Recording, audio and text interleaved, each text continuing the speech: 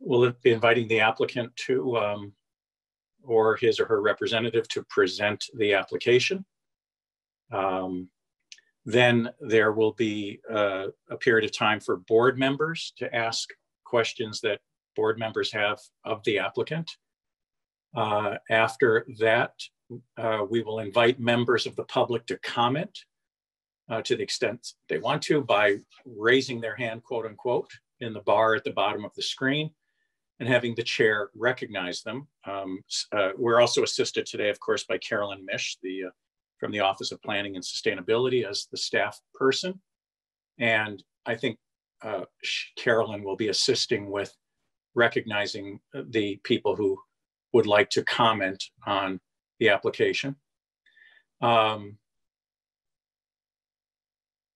once the public comment is over, and, by, and we ask that the comments be addressed, it's a little weird to say this when we're all virtual, but addressed to the board, not to the applicant. It makes more sense when we're all in the same room, but we like the questions to be directed and comments to be directed to the board. And then the board has the opportunity to uh, ask further questions to uh, of the applicant. Um, once the public comment period is over, uh, the board uh, typically will vote to close the hearing unless there's a continuation. Uh, and at that point, the public hearing is over and the chat box and raise hand functions will be turned off. Um, after that point, after that vote of the board is taken, the board is not able to receive any more uh, testimony or evidence from the applicant or the public. Um, and then depending on, on, on what happens between now and then, the board may or may not move uh, to vote on uh, the matter before us. Um, before I start, um, we always ask if there's any member of the public here for the purpose of addressing comments to the board that do not relate to the one application on the agenda today. And just for the record, that application is um, the appeal of the building commissioner's decision by Pat Melnick Sr., trustee of the Beaver Brook Nominee Trust, and Raul and Farah Mata. Um, that decision of the building commissioner found that a, a, certain lot is not a building lot at the end of Grove Avenue. The uh, tax ID uh, number of that lot is 5-12. But before we get to that, the question is, is there any member of the public here who would like to address the board with comments that do not relate to that one item on our agenda?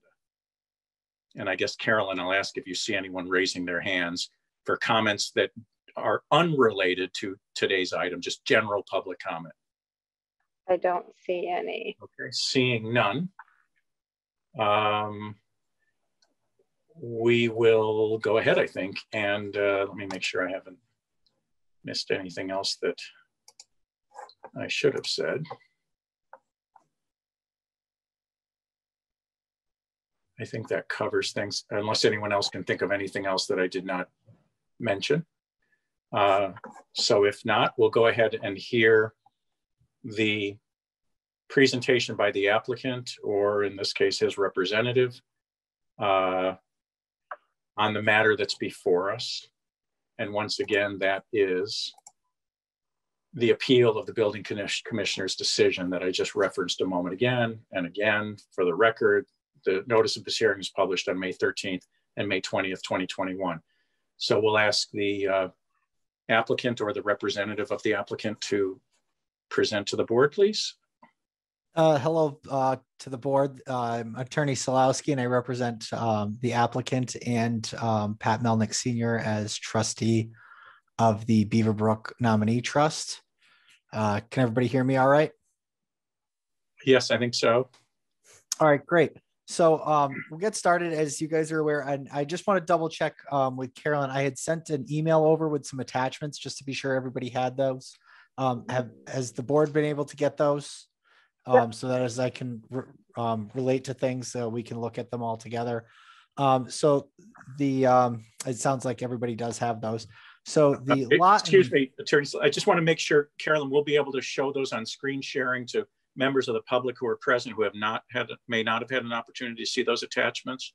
Um, I can make um, Attorney Zulowski um, a co-host for the purposes of sharing. So which I will do that now. I'm Is not it sure if I can do that. I, I just printed them out. I can show people if Oh. I, I, I don't know. Um, You can't come to a Zoom without sharing your screen, buddy. I don't know how that works actually, but um, in any event, if, when we get there, uh, if people have questions and they want to look at things, I guess we can deal with them. So Okay, I um, can, um, so in that case, since he's unable to do that, I can. You I'll can try and I can file. try. I, I, Well, can I- try it. Well, I can go ahead and, um, I will pull up the folder that has them in them, but it, it'll take me a couple of minutes, so I just need to go grab that folder and, um, and, uh, I'm sorry, um, um, get them on my screen. Um, uh, but go ahead. All right. So in, in, any event, um, the lot we're here to deal with is uh, a lot that's um, down towards the end of where Grove Ave is currently built out on the on the left side as you're looking to maps. It would be on the western side of Grove Ave. And Mr. and Miss Mata want to build a home on this lot, and it's uh, a lot similar size and um, to the other lots in the area. It- is along um, Grove Ave and Grove Ave in this section was um, originally um, laid out in, as Washington Heights, and I don't know if anybody can see it, um, but I'll hold this up for a moment. And it, this um, map is a recorded map. Um, if everybody's able to look in the Hampshire County Registry of Deeds, it's Plan Book 32, page 38. This was laid out and recorded um, prior to the current um, zoning requirements, and this laid out Grove Ave as a, as a street in Northampton. And this um, Grove Ave goes beyond where, um, yeah, oh, there we are now. And so this street goes beyond where currently there are houses located, but where there are currently lots, and this lot is one of those um, areas uh, on that map um, in question. And uh, Which lot is the one? so I believe it's a combination actually, but the street is, so it would be on the north side. You see where, along where it says the railroad? So I think it's actually um, a couple of these lots put together. Um, and I believe it may be one, two, and potentially three. Um, I'm not a hundred percent sure on that. I've been focusing on Grove Ave itself, actually. And uh, that's kind of the um, the issue in question is whether or not Grove Ave is is a legal street that provides legal access, and um, and this unquestionably goes well beyond um, the current um, the lot in question of um, 05 012 and um, we've I'm- actually I'm, I'm sorry to interrupt, but I, I really want to get my bearings on this because I've been up to the area, I've looked at it, and I'm just confused now. I thought we were looking at the west side of Grove Ave, and now you're talking about the north side. And as oh, I'm sorry as- did I say north I meant the top um, Okay, so the so that's west- the east side. Is that not the east side? No the top of this map would be the um, would be the west side and i'm sorry i, I misspoke if i said north i meant the Okay, top so you're you're in the far right corner where it says 52 on the top. Is that right? no i think we're in, i i underneath where it says railroad Uh, You're talking about lots one and two. uh, yeah i think we're in that area um, of this map and, and they don't exactly line up to exactly what's um, on the ground now as um, some of these lots were combined in various different forms. But essentially that um, shows the continuation of grove ave which is the the important part of of this and that this was a recorded plan um, in the in the registry of deeds uh, prior to any current um, the current rules and regulations regarding zoning. Again, I, I know you're trying to just say Grove Ave is longer than it appears to be right now, but I need to get oriented to where you're talking about. I had been under the, the last house I saw on the left as I went down Grove and it dead ended was number 88. Um, are you talking beyond 88 on that same side or across Yes. from 88? Beyond 88 on that same side, it would be one, two, three, four, five, six, seven, and eight listed. So it's beyond the current um, houses that's there. What, So you're saying 88 is approximately here where my cursor Yes. is? Yes, that's my understanding. so all those lots to the right of where Carolyn's got her little thing, Yes, You're that's currently are built- 12, you're- you're 31, and arguing are- 11. you're arguing those are buildable lots? Yeah, Because so Grove Ave on this map in whatever year this was, in 1908, showed those as lots and so- showed Grove Ave that long. Am I getting this correct? Okay. yeah, so it showed Grove Ave that long, so that established Grove Ave as a legal street in that length. And essentially, um, even though it may not have been built out at that time, it established that that was a legal lot. And now these lots on the uh, on the top one through eight are now um, on the on the tax maps, um, map 0511, 31, and 12. So 0511, And- 0531, and 0512. And now today those abut the bike path, correct? they abut the yeah the the bike path i guess well i think they call it the multi-use trail I call it the bike path. It's shorter. okay the But- bike path We're taught, we're at least saying, talking about the same thing. yes so Okay. that's currently uh, commonly known as the bike path Thank you. Uh, Okay, go on. Sorry, I uh, kept interrupting. I no, just have had right a ahead. really hard time getting oriented to all of the locations of all no of you get right ahead you go right ahead and ask any questions that you've got to ask um, regarding that or, or any other questions you've got so i've also got an exhibit b which is a little bit wordy it's it's a um, uh, my exhibit B is actually a, a legal case that's dealing with this issue where some people may say, well, what does a street from 1948 have to do with now? Well, this this case is um, is a, a appeals court case and it establishes that once this street is laid out and people have rights along it, people own these lots and things like that. Even though the street hasn't been built out, the town can't just uh, unilaterally say, no, we're not um, going to acknowledge this street anymore and we're going to deny your permit. And very analogous to this situation, uh, in this case that's attached as Exhibit B, the um, the building uh, department denied a building permit. The ZBA in this case actually um, upheld that denial. However, the Superior Court in this case um, overturned that denial and said no, because there was this paper street, because they had frontage on this paper street, you can't deny them that. It was actually appealed to the appeals court where the appeals court actually upheld that decision and the appeals court said that's correct. Because this paper street was there because there was this frontage on this paper street it now legally the town can't just decide that we don't want to do that anymore. Um the, the, it, it is legal thing that's there and they have that right. And um and this this case goes to that and it is a little bit hard to understand for some that aren't attorneys and it's uh, you know it's wordy and, and frankly a little bit confusing but that is what um that says and that's something that the uh, the appeals court of massachusetts had previously decided that these rights are protected in a case such as this.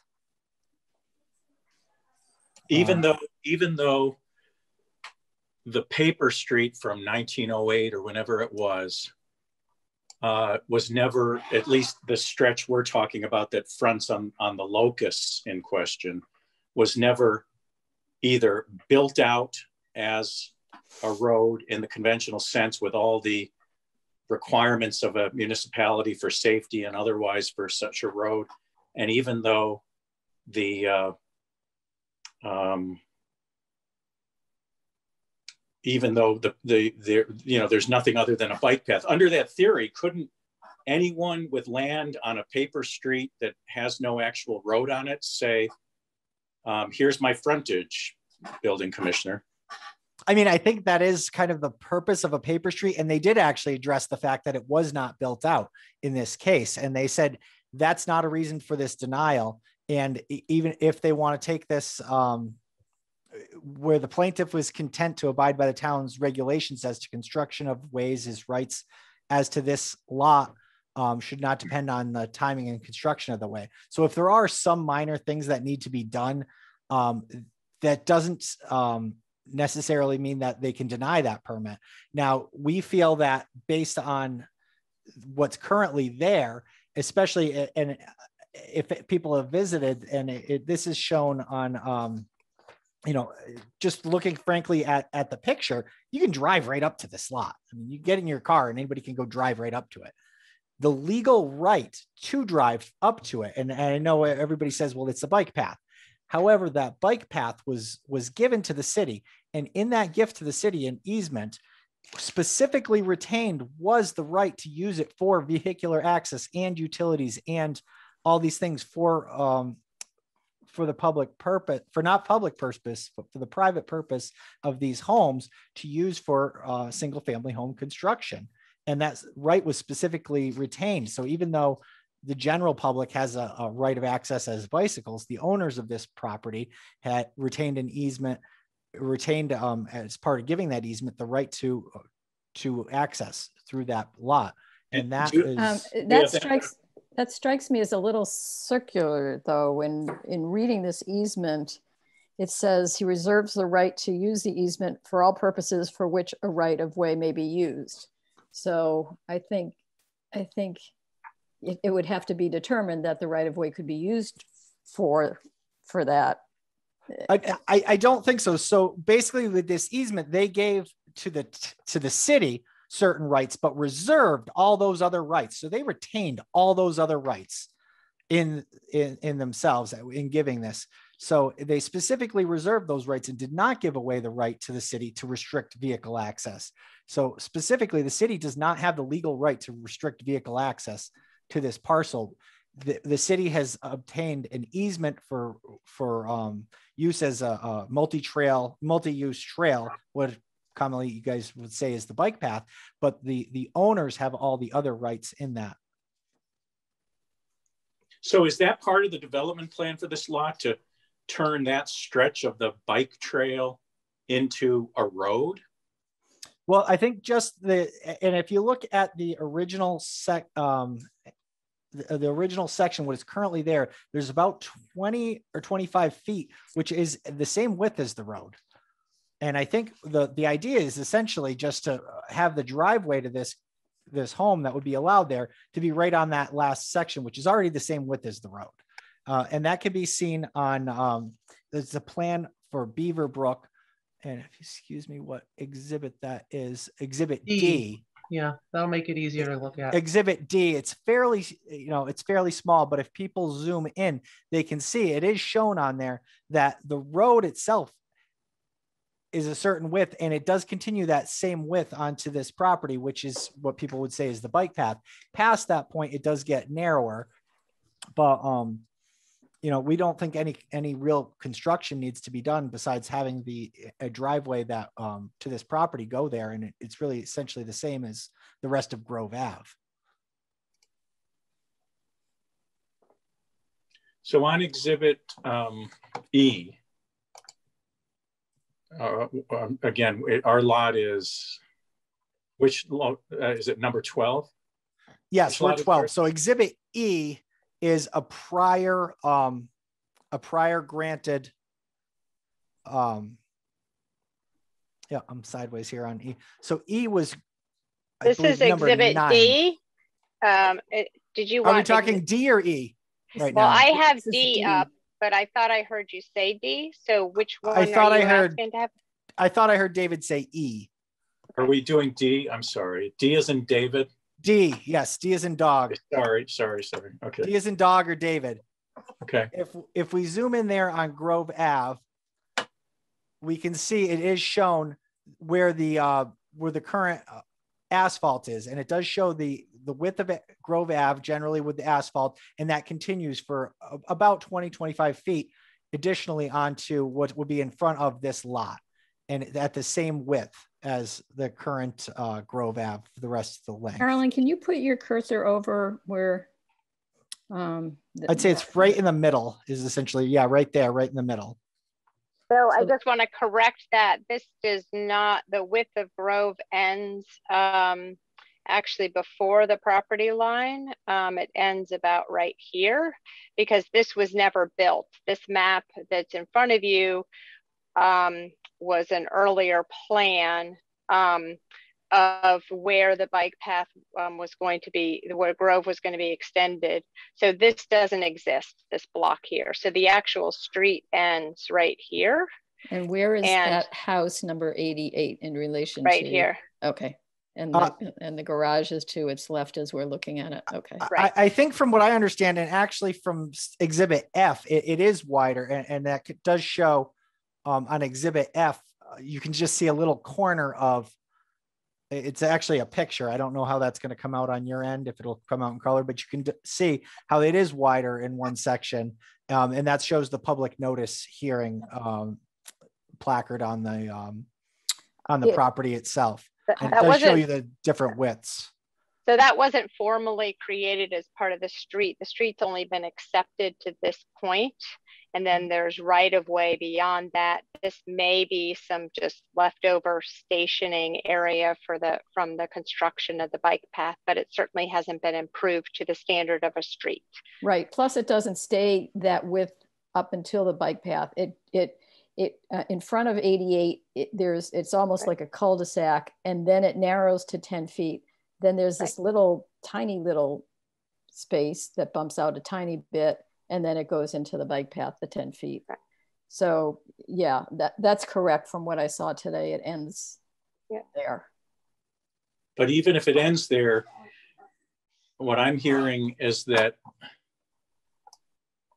the terms of this easement, which is exhibit C, that was that were accepted by the city of Northampton. I'm not making an argument here. I'm just think Mhm. talking, describing out loud what I think I'm looking at. Um, is that at the time that the owner of this land granted this what sort of became the rail trail to the city, the owner of the land reserved the right to an easement over that same strip of land for any purposes for which a road could be used, including, which means the question is, does that mean that it doesn't matter what the width of the pavement is now? It doesn't even matter how far the publicly accepted road for Grove Street is, Grove Avenue. It's because the applicant or the appellant is the successor to this party. I guess maybe it's the same entity. It's a trust, the Beaver Brook Nominee Trust. That so the appellant reserved the rights at the time this strip of land was transferred to the city to basically put in a roadway. I, Essentially, yes. So- you know, the reserve the right and the is that nothing else matters because they reserve the rights to to make this a roadway to provide access and drainage utilities, et cetera, to install any other utilities that may be used in connection with single family homes. That, that's, that's what you're saying. but yes, that is essentially my first argument. We've got the we've got the right to do this. Um, and, and the, the city accepted this easement, the city accepted those terms when it accepted that easement. Now the city's got the right to use this as a bike path, but we have the right to use this as a road.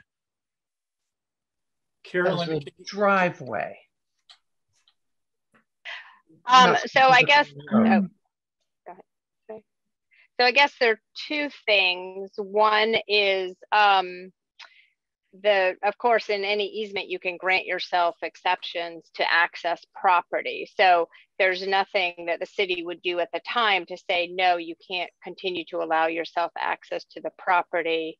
Um, and it certainly didn't grant, um, compliance with the zoning for a lot frontage or um, access.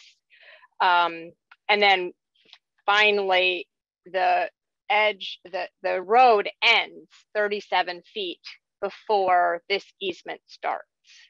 So um, there's still a section of right of um, access that is not, it's unimproved access for the purposes of creating frontage if you even get to the point that we allow frontage off of the um, end of a street, I understand the um, applicants arguing that they have that a paper street provides them frontage, but in fact, this lot has been chopped up so many times that uh, that original layout doesn't exist anymore. The planning board also approved um, an A&R uh, prior to this showing um, frontage only from Haydenville Road for all of this land here, which was in my staff memo, and I can show that. Um, so that paper street essentially, um, if it was there in 1908, the subdivision road was actually created to this end. And so, and then there's been many carve ups of the remaining lot since then. So um, it's, I don't think it's a clear path to say that you're going to use a 1908 plan that's still valid in 2021 when all these other changes have been made well, and the street has been accepted up to this point.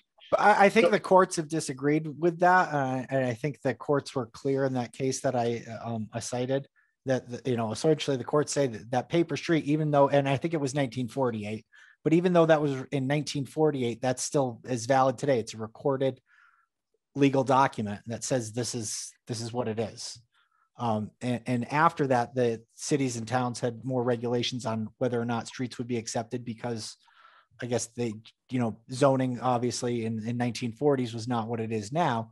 And, um, but if something was done, you were grandfathered in and you were protected and your rights were protected in those streets and those paper streets. And, um, and this lot is one of those. And that's a necessary part of your argument, I'm asking, because it's not enough to say you've reserved easement rights because, uh, Carolyn, I, I don't think that you can claim frontage that necessary to satisfy the ordinance and the dimensional requirements for a building lot. You can't claim frontage on an easement based on an easement, a frontage on an easement area. So is does that mean that this second prong of your argument that well it's not just frontage on an easement area which did give us the right or you the right to install an access way, a roadway, or use it for all purposes for which a roadway may be used. But because frontage on, on an easement is not enough, you also, or you're asking us to also find that this paper street from 1948 causes that strip of access land to rise to the level of a, of a, of a public way so that the frontage requirement is satisfied in that way. Do you are you do you think that let me ask you this. Do you think that let's forget about the paper street for a minute. Do you think that having frontage on an easement area satisfies versus frontage on an actual accepted public way satisfies the requirements for frontage to make a building lot build a lot buildable so I think I'll take that question and give you a, uh, not exactly a straight answer. In that, if it were a private easement, no, I, I, don't think the private easement would give them that right. However, in, in addition to all those arguments, this is a public way. Um, the easement has been accepted by Northampton as a public way, and now they've accepted it as a public way as a bike path eh, or multi-use trail, but that is a public way that the city of Northampton has accepted in addition. So we've got my argument is actually not necessarily numerous prongs, but it's in numerous ways. Um, depending on which way the board views things, I think we've got the right to build on this lot for numerous reasons. Whether or not they um, accept the fact that this was a public uh, a public way, which I think it was, and it was a paper street and it was accepted. Even if that were not the case, and it, now it's a bike path, it's a public way that has now been accepted by the city of Northampton, and the right to access this uh, by vehicle were reserved to the uh, the grantors in that easement. So if there wasn't a street there originally, which we say there was, and we say that that was there, even if that was just land and the city of Northampton said we will accept this land as a public way, the public has the right to go across this way for purposes of an easement of for um, for a bike path the the grantor reserved the right to access it for more than those reasons even though it is public for many reasons it's it's public it's public way so you're saying on the one hand if it were a private easement no that does every we all agree that does not constitute frontage for these purposes But you're saying because an easement was granted to the city for what is now the bike path, that makes it also a quote unquote public way? Yeah, I, I think there's no question that an easement, a public easement is a public way. Well, that's the question. What what is for for purposes of the zoning ordinance? And I, I'm sure we can look it up. The definition of a public way is it satisfied merely by virtue of the grant of private property to the town for a right of way, or is a, in my mind a public way was always a street that has been accepted pursuant to the statutory process to accept a to accept a street. Um, but I, I, don't know if Carolyn has any uh, any insight on that. But uh, yeah, I, I guess um, a couple of um, questions. I mean, we have an easement for the public to access for bicycle. But is but is that a leap and, to saying that makes this a public way for purposes of frontage? No, the city has not accepted this as um, a way um, for um, a way on which frontage can be obtained. So I can read the three standards from the zoning for what constitutes frontage. Um, but I also, um, before I do that, I just want to understand um, the plan you showed recorded at the registry. I see a date of 1908 on it, and it doesn't, it's not clear that this has been accepted as a paper street. It may have been platted without intention, but in 1934, the city accepted Grove Avenue up to the point where it is now um, paved. So I don't know that even if you plat a paper street, the city has actually accepted that as the public way, even if it's unimproved. But um, so um, think about that. But here is the definition from the zoning for frontage. It's the uninterrupted length of a front lot line is defined, whether straight or not, which conforms to the minimum lot frontage required and is on either A, a public way or a way which the city clerk certifies is maintained and used as a public way for the purposes of street access, a way shown on a previously approved subdivision plan, which has been constructed to the standards required when subdivision approval was granted, or a way that predates subdivision control that has, in the planning board's opinion, suitable width grades and construction adequate and reasonable for vehicular traffic, including emergency vehicles, snow removal vehicles, and installation of utilities. So let's say that the, you know, so I think um, the first question is whether or not that's even been accepted, because we know it's been accepted from uh, previous court cases and um, a um, Board of Survey vote in the 30s up to basically 88 Grove, that area. Um, and the rest of it is unimproved. So even if there was an argument that there may have been um, a way that predates the subdivision um, control, it's not been determined by the planning board to be adequate as meeting the standard for frontage. By, by Northampton Planning Board.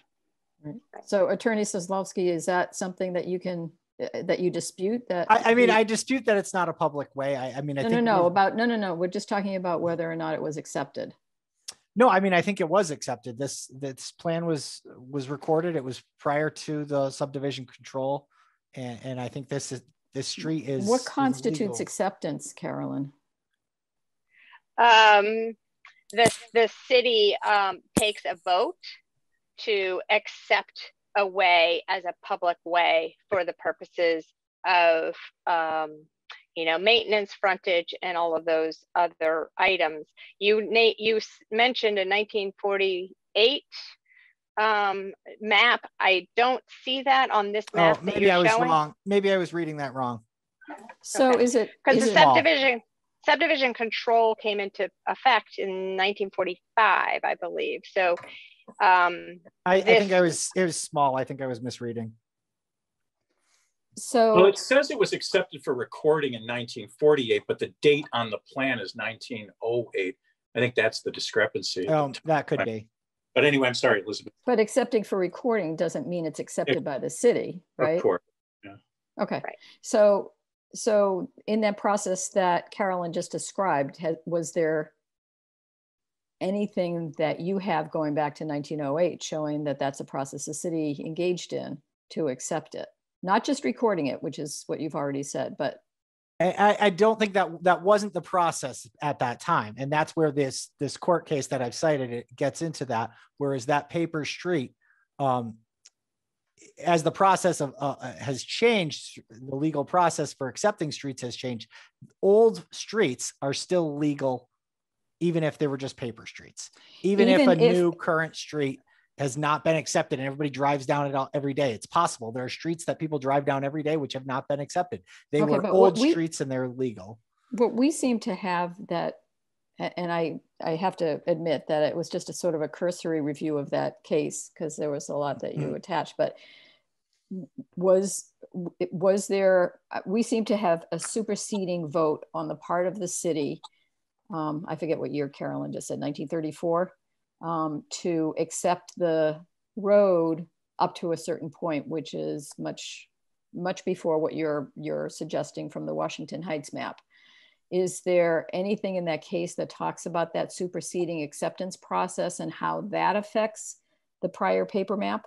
I mean, I don't think the the city accepting something else means that this is not um, not don't- legitimate. I, am not sure that I would necessarily agree with you on that, sir, because if there is a um, codified process for how you accept a, a street and the city has engaged in that process in accordance with the process, then I, I'm not sure that I would necessarily think that um, the, the case would suggest that that's that can be outweighed by just the recording, an earlier recording. I mean, I don't think this case exactly goes to that point, but I, think uh, the city accepting, you know, street over in this location, I don't see how that affects street over in this location. Um, whether or not what they did on another portion of the street, they didn't address this portion. Uh, and, and I think unless there's some record, which I'm Well, it- unaware of, where they specifically, um, Well, I have to assume they are, uh, they, when they went through the process of accepting the street up until a certain point, they were aware of the map of which you speak. I, I, I wasn't there. We, none of us. I- I- was I wasn't there. So, but I, I'd have to assume that, especially given how much closer in time they were to, when they went through this process to the actual map itself than we are now, that they had to have been aware of it. They wouldn't have I, I don't know. I mean, I, I'm just speculating, of course, but I, I have to assume that this information was in front of them. you know, I can't say what was, you know, what Right. was or not None in of us front of can. You're right. time. You're right. None of us can. But So, um, I would, but I would like to think of the city as thorough in this process, um, in, in looking at, you know, why why did they choose this point? Um, so anyway, proceed. I'm sorry. I, I just No, I Hang think- on to that, Elizabeth. Um, may I? Sure. Thank you. Um, so there's uh, the first thing I'm reminded of is um, a uh, a building lot, a similar discussion for a building lot on the north side of Florence that was uh, using the end width of a dead end paper street as their frontage. Um, hmm. Uh, within the last 10 years, Carolyn, you recall that one? are you talking about give Dew- me a s- Dewey Court? You're not No. talking. That's not Florence. No, Uh. um, uh, you get at it, uh, Garfield? no, um, uh, well, it's, uh, it's, it- it's similar. It's in that little nook on the side of Strawberry Hill, west side Strawberry Hill. You can see the lot, but you're coming at it. Oh, I can, I'll have to pull up a map. But in any case, Sorry. there was a similar um, situation where someone said, you know, this is a building lot and our access is the 50 foot width at the end of this dead end Oh, street. were you? ta- oh, you're talking about Hillcrest. Ah, yes, thank you. Yeah. Um, so, um, so it seemed like th- there was there were two things going on there. Uh, one of them was that that they were told that the uh, the width at the end of the road couldn't be used as frontage, which uh, we have a similar thing here. Um, and the other piece is that uh, it's it's certainly interesting for me to look back at maps that somebody drew in 1908, chopping things up into lots of tiny, tiny lots.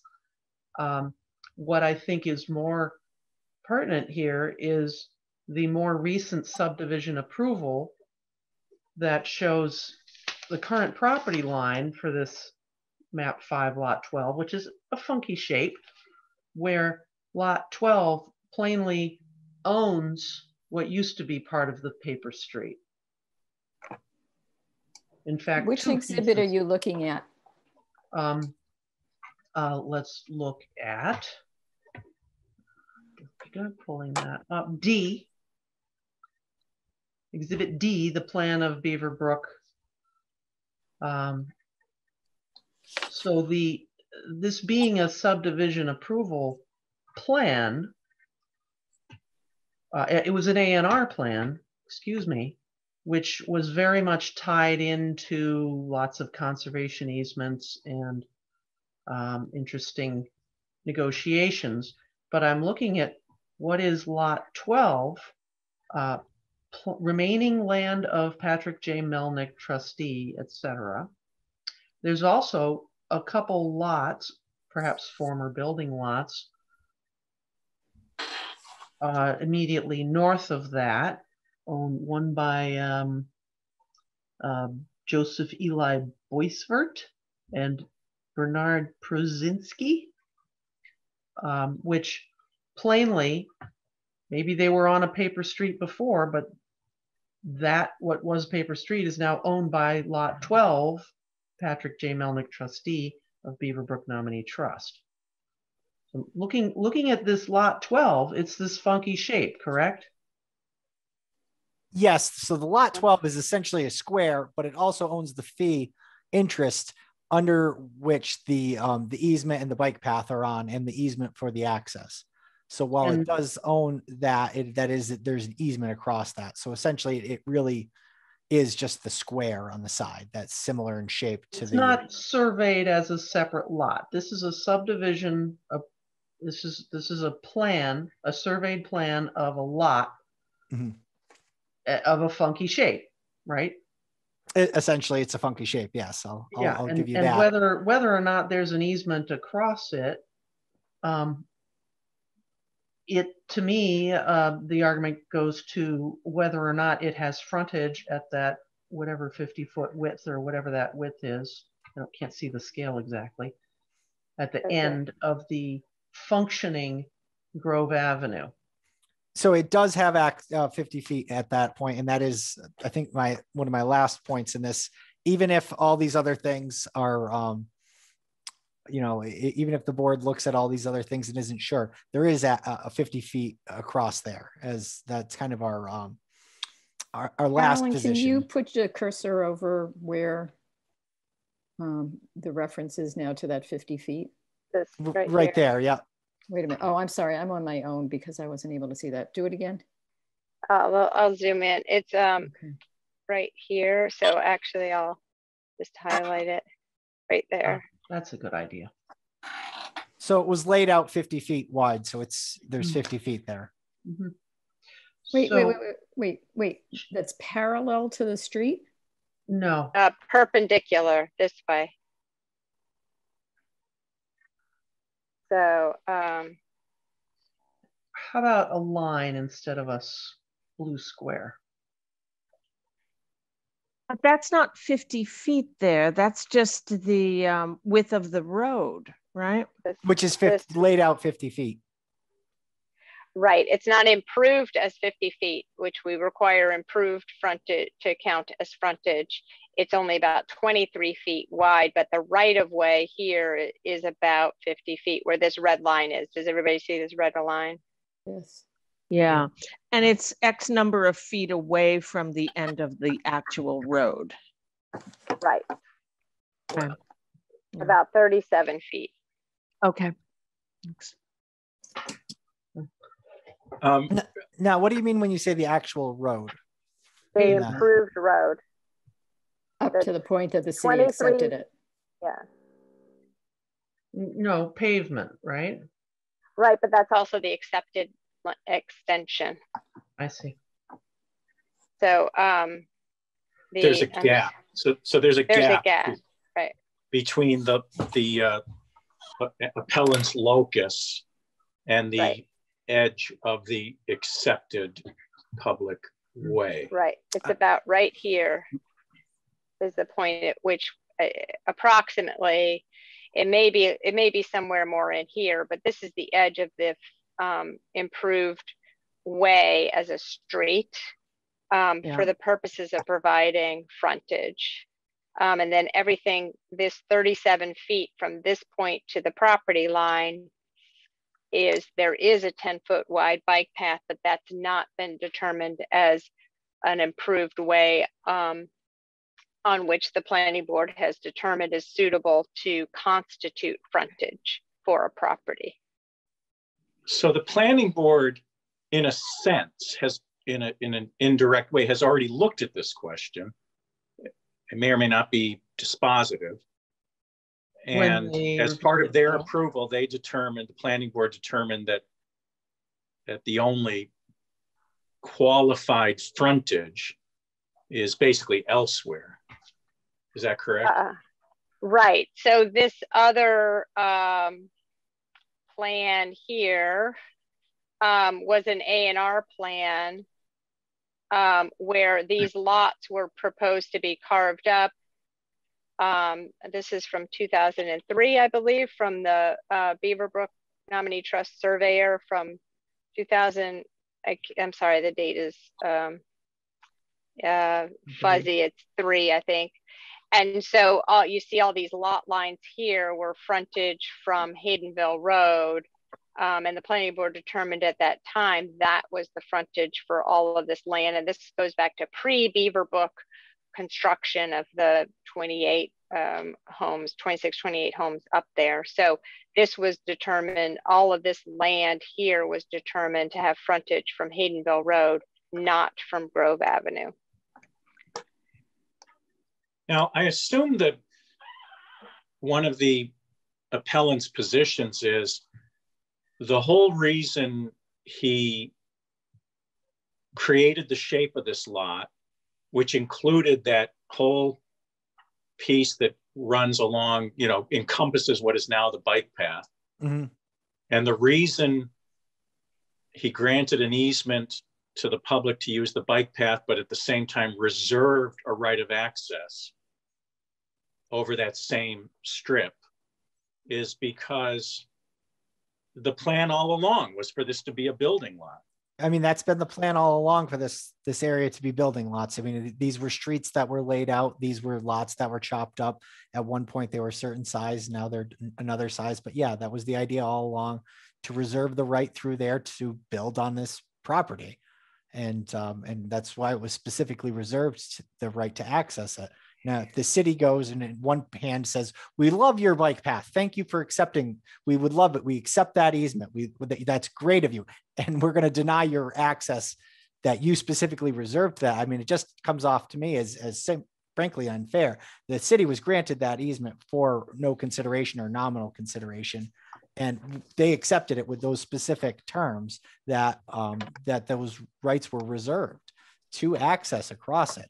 They, So, so my question on this, I'm sorry to cut you short, but that um, it assumes you already had that right to access, and you had a right to access as was, um, uh, like, according to zoning. So I I don't know that you were you've lost any of that. You may not ever have had it. Like, do we know what access to you know vehicular access you actually were approved for that you're potentially going to lose now I mean, I could go drive up and down the bike path right, right now. Um, and the city couldn't stop me. No, you can't. It's non-motorized only. I, well, I, I could with the permission of the owner. I could go drive up and down it right now with my car. I think your Um, point is the owner owns that land. Ye- yes, a- and, specifically reserved the right. And when you grant an easement, sometimes you grant somebody an easement to say put power lines, and their power lines may hmm. obstruct your whatever.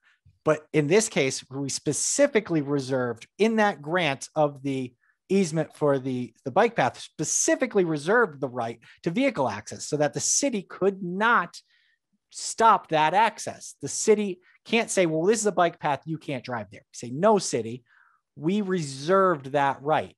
And that is what- very specific in there. But the issue before us is, is the required frontage on a public way.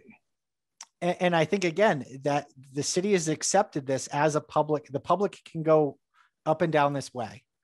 Oh, and yeah, sp- specifically, the owner is reserved the right specifically that they can use it as a, a, a- for vehicles also.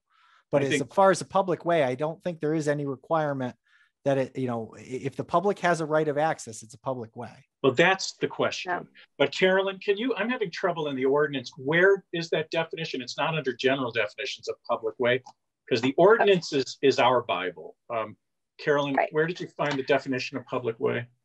So um, it's not an ordinance thing; it's a statutory thing. So there's a Oh, there oh. there's a couple things. So there's there's a public there's a public access which was granted, and we wanted it for the purposes of a bike path.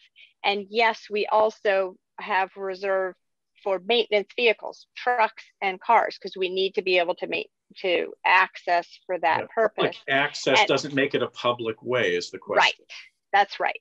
And so um, the other thing about the owner, of course, the owner reserved a right to access with their vehicles because, of course, um, the same way that the city wanted access for maintenance vehicles, that could be granted. That's not the same as saying you have legal building frontage and lot frontage, and therefore that because just because you called it single family home access doesn't mean you have a legal building lot. It means that you're reserving the right to access your property with a vehicle. And so the question with, I mean, this um, additional question, even after you get past, um, you know, I think there, there's clearly the city would say, yes, you can come onto your property with a vehicle.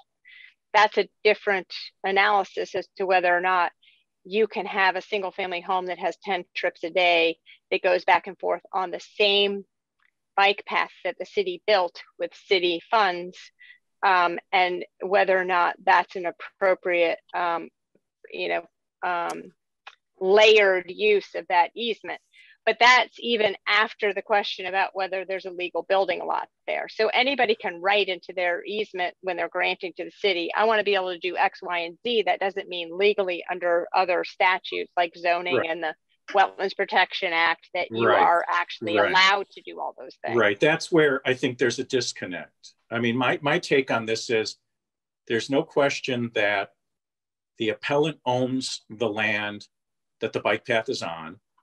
The appellant granted an easement to the city to allow essentially the bike path usage. The appellant reserved the right to use the same strip of land despite the grant of the easement to the city for its own access to this locus. But, and may have intended that to mean that that's going to make my, this, this parcel a buildable lot. But the question remains, does all of the four above that I just listed mean that the appellant also has the required minimum frontage on a um, um, A you know, the appropriate the the uh, the public way as defined by the statute and as required by the zoning ordinance. And Carolyn, you had mentioned that public way is defined by statute in several places. Uh, can I just um, ask you for those specific references? Because I, I haven't found anything that um, excludes this, um, and, and I would like to um, look at that if uh, perhaps I'm missing something, but from everything I've found, that this is not um, excluded as a public way in any. Well, see, I think you're manner. using public way in, in sort of the broadest sense to suit, you know, and support the the creative arguments that you're making. Um, but the what's elusive here is what is the correct definition of public way for purposes of the analysis and the decision that this board needs to make. Um, and I, I'm not sure right now what the answer is. Did we just get all these exhibits and so on today? That's when I first saw them. There Was it was just- some that were part of the application, and so Okay. they were duplicative of the application, but they were, um, But the think- vast bulk of them just came today. But did the decision, the case decision come in today? I mean, I know it was. I I had listed it, but I didn't actually, pr- I, Yeah. I had listed it in my original, um, but I didn't actually, or may, I may have included it. And, Um, and I- just, I don't I, recall for sure. I know you don't need to do this for us, but did you Shepardize that case? Are there subsequent cases or is that the I mean, only I- case I've- on point? there's there's multiple different cases that talk about this. That's what i thought was most on point to this. I mean there are lots of different cases that deal with all these issues um, what is a public way what is not what is on the accepted list of, of public ways and what is an, ex- a public way by, because of um, the way it's and I, I this was the what was on you know not giving this to to um, you know the land court um, i tried to get the the most on point um, case and, and present it and certainly i'm sure there are, are I- hundreds I- of cases in Massachusetts dealing with what is or isn't. Um, I, I personally would would really like to have more time to digest this case and see if there's anything out, else out there. But but that's just as an aside for now. I mean, I do come back to where this all started, and that was a um, a decision by the uh, building commissioner determining that um, it's not a building lot because of an of, of a lack of frontage on a public way. I mean, every word in that sentence becomes critical to the uh, the analysis that we we we're being asked to make. Um, and I understand 100% the developers, you know, viewpoint and that of the the, the people who were hoping and planning uh, to build on the lot. But uh, that's about all I can say for now because I'm, I'm uh, there's a lot to digest here. So the subdivision control law, which is the uh, 41, chapter 41, deals with the creation of public ways. So when, and for the purposes of frontage, frontage is about building frontage on a public way. And so that goes back to then the definition that's incorporated into our zoning about what that frontage means. And it's a way on which the um, planning board has determined is adequate the whole purpose is for adequacy of access is why we have frontage. And so the adequacy of the access from um, a public way and it's not just um, a path that's that has a public easement where the public has the right to pass and repass. That doesn't make it a public way. So all of our bike paths in northampton they're not public ways. They are public just trails just because an easement has been acquired by the city to allow Right. the public to ride bicycles on them does not make it a public way that i think is a critical question and you're saying from your standpoint it's not a question it's it's an answer it's not a public way And um, it has to do with safety and access, right? Of Right. fire and and uh, but this emergency Yep. vehicles and utilities snow removal all of Uh, that But what, but what Attorney Sosowski is suggesting is that the driveway satisfies that. Is that correct, sir? yeah, I mean, I, I think there's there's no question Okay. about it. You, So- I mean, you so can the drive to question there, is as whether the everybody dri- said though. So, but then the question is, is the driveway a public way? well but also it's not up to the property owner to make the determination about whether the adequacy has been met I, I'm just it's trying, a planning board no, I understand that. And I wasn't Okay. suggesting that argument was correct. I was just trying to flesh out what the argument was. Yeah, So- and I think as opposed to all other bike paths, perhaps in, in, in Northampton, this one is different, where specifically we did retain that right. So I, I can't go drive down a bike path, you know, uh, uh, off of Damon Road, whereas the owners of this can go drive down this. that's I, I think a critical difference that's maybe not quite um, appreciated in that we specifically have that right, whereas you don't, you know, uh, you don't have that right elsewhere. And that access, the purpose of access, you know, as people had pointed out, you know, the city drives their trucks up and down for maintenance of this. The, the city can go and, and maintain the bike path. The city drives here and drives there on it. Well, that, I think that shows that, that this this is adequate uh, for access to a single family home. I mean, we're not talking about putting a Walmart in here. It's uh, you know, you know, a couple people that want to build a home and, and want to do it and and move to, you know, um, Northampton and are, are desperate to to do that. And they're you know kind of looking at this this board for for help. And I think you know the purpose of this layout was always that these were lots and this was always designed and destined to be building lots you know if you look at any any subdivision anytime a home is built well why wasn't there a house there before? Well because before there wasn't. Um, you know every time you build a house that's the way you know it is. These th- this has been progressing down that street. If you look on the other side of the street just slightly before there are you know new homes going in there now. If we talk about adequate you know adequacy of access they're right there. The street is being built out. I think it's uh, um, just the way things progress in in the world um, and but, as Northampton gets you know a greater population, that's going to happen. And that was the design of this plan that these would be built out. And why, think, why not go to the planning board with an a subdivision application to extend Grove Avenue in accordance with subdivision standards? Because that would ensure. I mean, I I, I lost you when you said uh, because the city can take a truck on the on the on the bike path. That means the bike path path is satisfactory for purposes of access addressing you know all the concerns of the city. A fire truck cannot go on that bike path to access your house. And that's one of the things that the city would always try to regulate. Um, but I um, think a fire truck getting to 88 Grove is no different than a fire truck getting to whatever this would be 90. Um, you know, how, how, much different is that uh, 50 feet up the road? If there's a concern with that, then. Um, well, that comes up in every application. And we hear from the fire department saying, no, we have to be able to turn our truck around. I mean, that happens. It's not the width of a bike path, I'll tell you that much but but just as an alternative doesn't it make sense to go to the planning board with a new survey to extend i know that you're trying to avoid that by making all of these arguments to us but um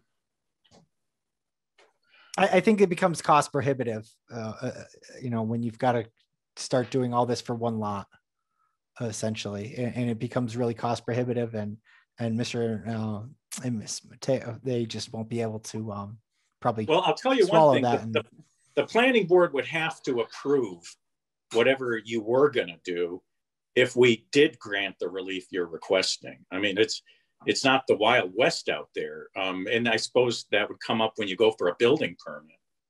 Um, I know you already did. I imagine that's why you're here now, but uh, but issues relating to satisfying the the requirements of public safety would would absolutely come up. Um, but I hear what you're saying is yeah, but you still don't want to go through the subdivision uh, uh, app approval process. But I'm just putting that out there because um, I, I, think the arguments you're making are are are impressive um, in terms of um, of uh, I mean, another one I we haven't got to. I mean, uh, frankly, a, a, lot on this, and I don't think I've addressed this. It was in my um, in my package that I submitted. They they granted a building permit. The city has granted a building permit to the McCarthy's, and, and if we look at the, I can um, that's exhibits. Um, is that E? E like elephant.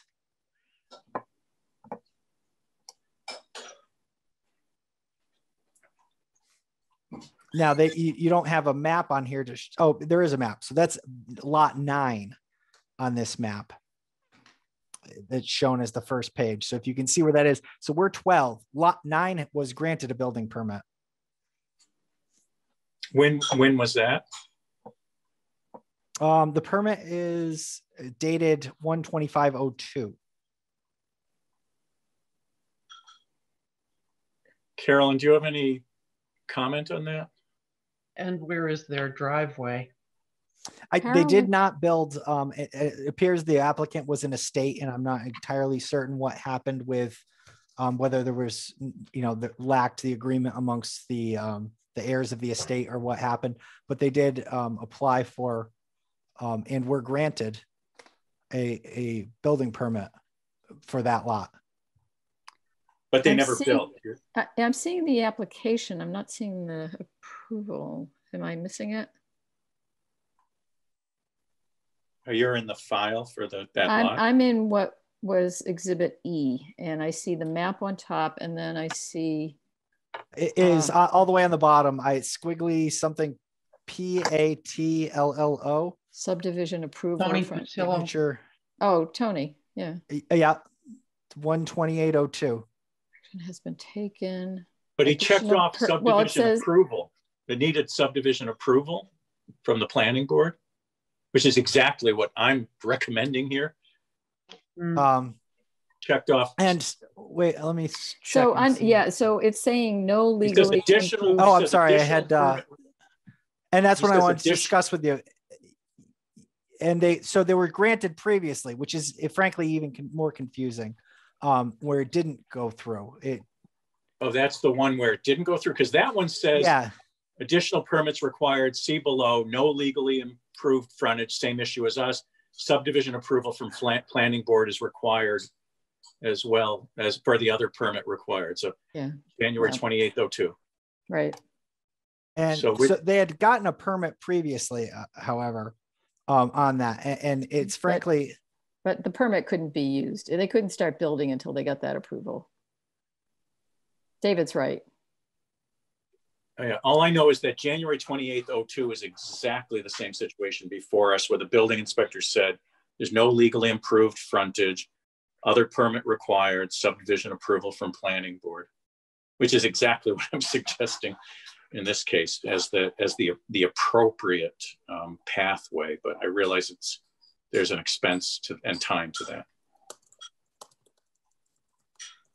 Because it's the planning board that looks at these issues of what constitutes safe uh, access, safe roadways, safe frontage. They get input from public safety, police, fire, and um, that's what we that's what they do.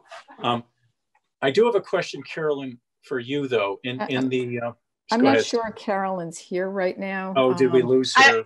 I'm Oh. here. Oh, Yeah, okay. Sorry, Carolyn. That's okay. Um, I know we're going to lose you briefly. Was that at seven, Carolyn? Um, I already took care of that, so You're Oh, good. thank- Great, thank you. So Carolyn, when I'm looking at the, um, the memo we received, that's why I asked where is the definition? I see some notes that say frontage is defined as, and then I think you read this earlier. Yeah. But the uninterrupted length of the front lot line, which conforms to the minimum uh, frontage requirement, that's the footage, and is on, these are ors, a, a public way or way which the city clerk certifies as maintained and used as a public way. Not just a public way that's being called a public way because there was an easement granted to ride bicycles on it.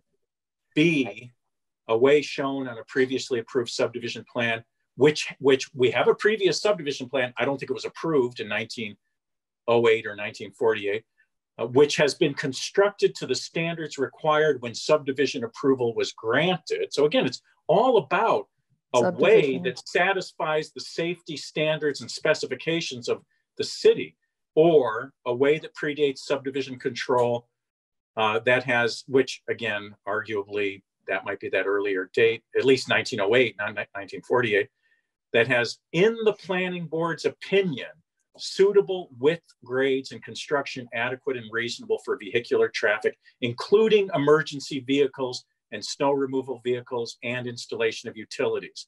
When I look at those, and we can find out the origin of these definitions, um, but when I look at these, you can see why I'm feeling such a huge gap between the public way frontage definition required in the materials we have and this argument that well, this is a public way because it's a bike path, which was an easement granted to the public to ride bikes.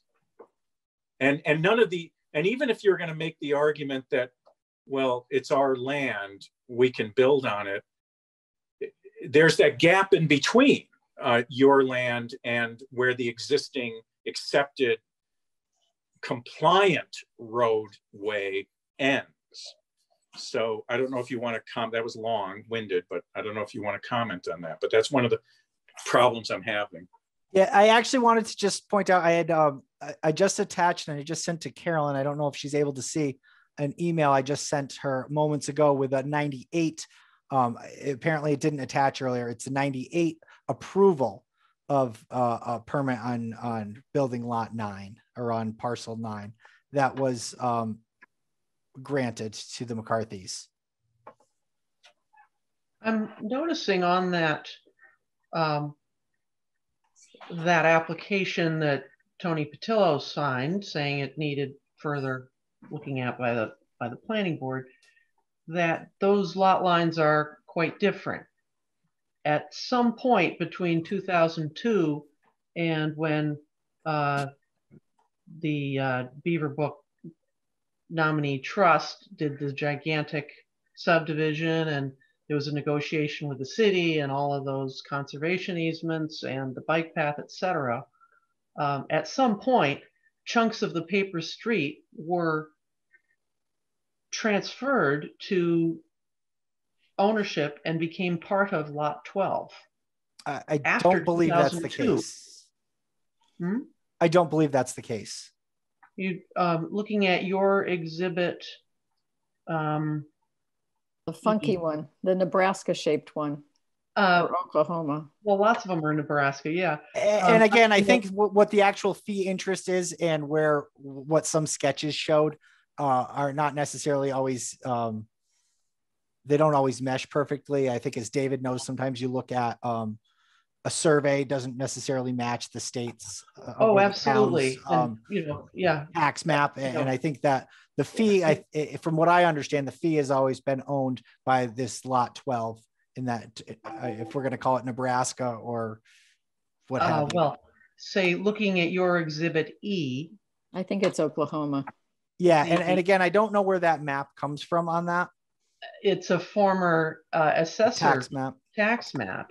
And you're, by, you're talking to three lawyers and an engineer here. So we, you know, I read these things and study them.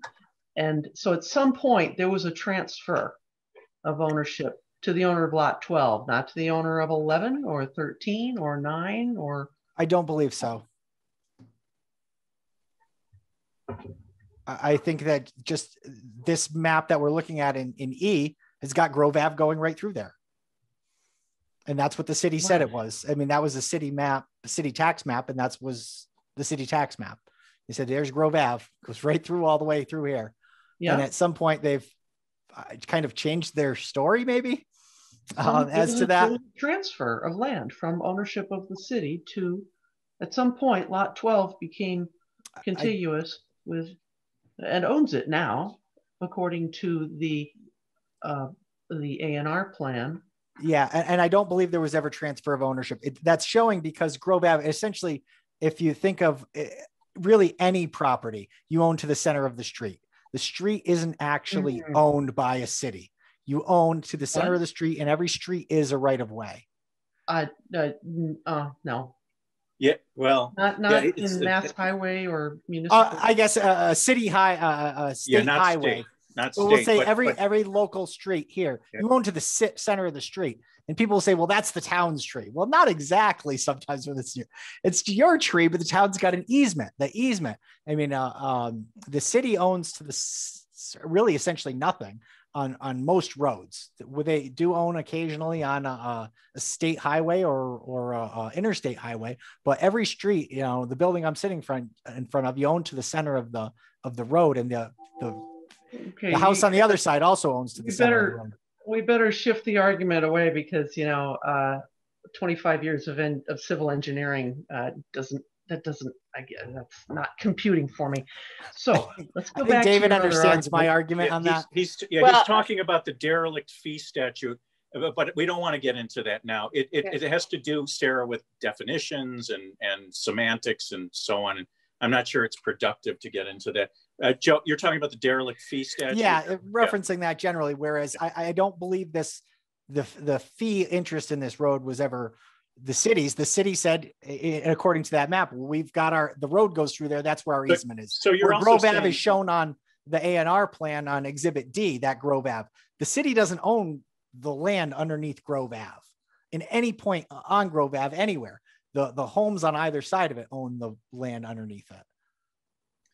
Yeah, I don't think we have to get in. I think the point Sarah was making is we see a discrepancy between this assessor's map, which suggests that the city, that Grove Ave goes right through your locus, and your plan, which shows that that same strip of called Grove Ave and the assessors is is your locus. It's part of your locus. But I'm not sure where where where that takes us anyway, except confusion about the, these plans. Good, good point. We want to get back to, as David is very good at keeping us on track as far as what is the question before us. In in general, um, you know, we we need housing. It's a nice, maybe it's a very nice spot for a house. The question is, can we allow it? Uh, I did, let me just uh, mention that I did pull up the map, the lot I was thinking of um, uh, from some years ago, Carolyn may remember, was at the end of Kimball Street. And um, so that, and as uh, Elizabeth noted, there's a, a house with this long, skinny flag pole, and they ended up having to get frontage at on Hillcrest in order to use it. They couldn't use the end of Kimball 50 foot width as their frontage. I mean, I always thought that was like what lawyers call black letter law in the zoning context that you can't use the end of a street to satisfy a frontage requirement. Um, but and that's what we decided in Dewey Court. Mm-hmm. And and so I believe the, their argument is that uh, it's not just the end; that it's still a way yeah, it's not even a butt doesn't even abut the end. It's it's so many feet away from the end of. But again, it all turns on what what we're calling a public way. Right. I think it's not. If, if you say the public way is the street that was accepted, that's as much as 37 feet away from the appellant's locus. And that's what a that's what a public way is. It's not because the public can ride their bikes on the bike path portion, that doesn't make it a defined public way. Right. For these purposes. Carolyn, what, what is the source, Carolyn, of the material in our memo that says frontage is defined as, and the purpose of requiring frontage is to ensure adequate and safe access from a uh, street uh, to a private pro property? Yeah, so um, the zoning stipulates what frontage is, but it is taken and mirrors the subdivision control rules and regulations. And there, there's definitely lots of case law about um, frontage and adequacy of the access. Um, and, and so, you know, if you, even if you were to accept that um, this paper street could potentially constitute um, a way it's not eh, it's not been approved by the planning board as a way um, for the purposes of creating frontage. So what so would the mechanism? What would the mechanism be if we we I think it has to be unanimous vote. I'm just, this is purely hypothetical. If we were to vote to overturn the building inspector's denial, what is the mechanism to ensure after that that this the, the, the access, which would be over, I mean, how do you get from, from the end of Grove Avenue to the new house they're building in a way that will satisfy the city's and public safety requirements, or just, just like procedurally? Yep. Subdivision um, approval. So you, so, you so what happens when they go for a section, I know, I know but, a, who, but who tells them they have to go for subdivision approval if we if we overturn the building inspector? I just want to hear think through the different scenarios here. Um, so they could um, they could, they don't necessarily need to go to the building department to file subdivision. For fi- you can, anybody can submit a subdivision application to the planning board. It doesn't, it's not a building permit process. It goes to the planning board.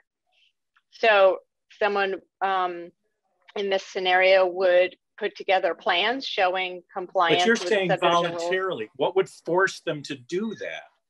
To ensure safe, uh, the installation of safe and sort of compliant Well, the- access? Right, the Because if we, if we were to overturn the decision, essentially we're saying that we believe there is frontage, right? Yeah, I'm just for the Right. sake of argument, what's the scenario? So scenario? then what, what? so if you overturned, um, uh, if you, oh, if you overturned the building commissioner's, um, ruling, and it would have to be unanimous, um, uh, then you would be saying you, either you think that it, um, uh, it does have frontage because it meets the frontage definition of frontage. Um, or I suppose you could say it could meet the definition of frontage, but the planning board has to make that determination. Um, but I think probably the cleaner way is to uphold the building commissioner's determination because the building commissioner looked at it and said, this doesn't meet the definition of frontage, therefore I can't grant it. He didn't say there's no way ever to figure out a way to do that. He didn't say you need a variance. He didn't say anything. He just said, well, I mean, you could go through the variance process and say, I don't, I don't need frontage.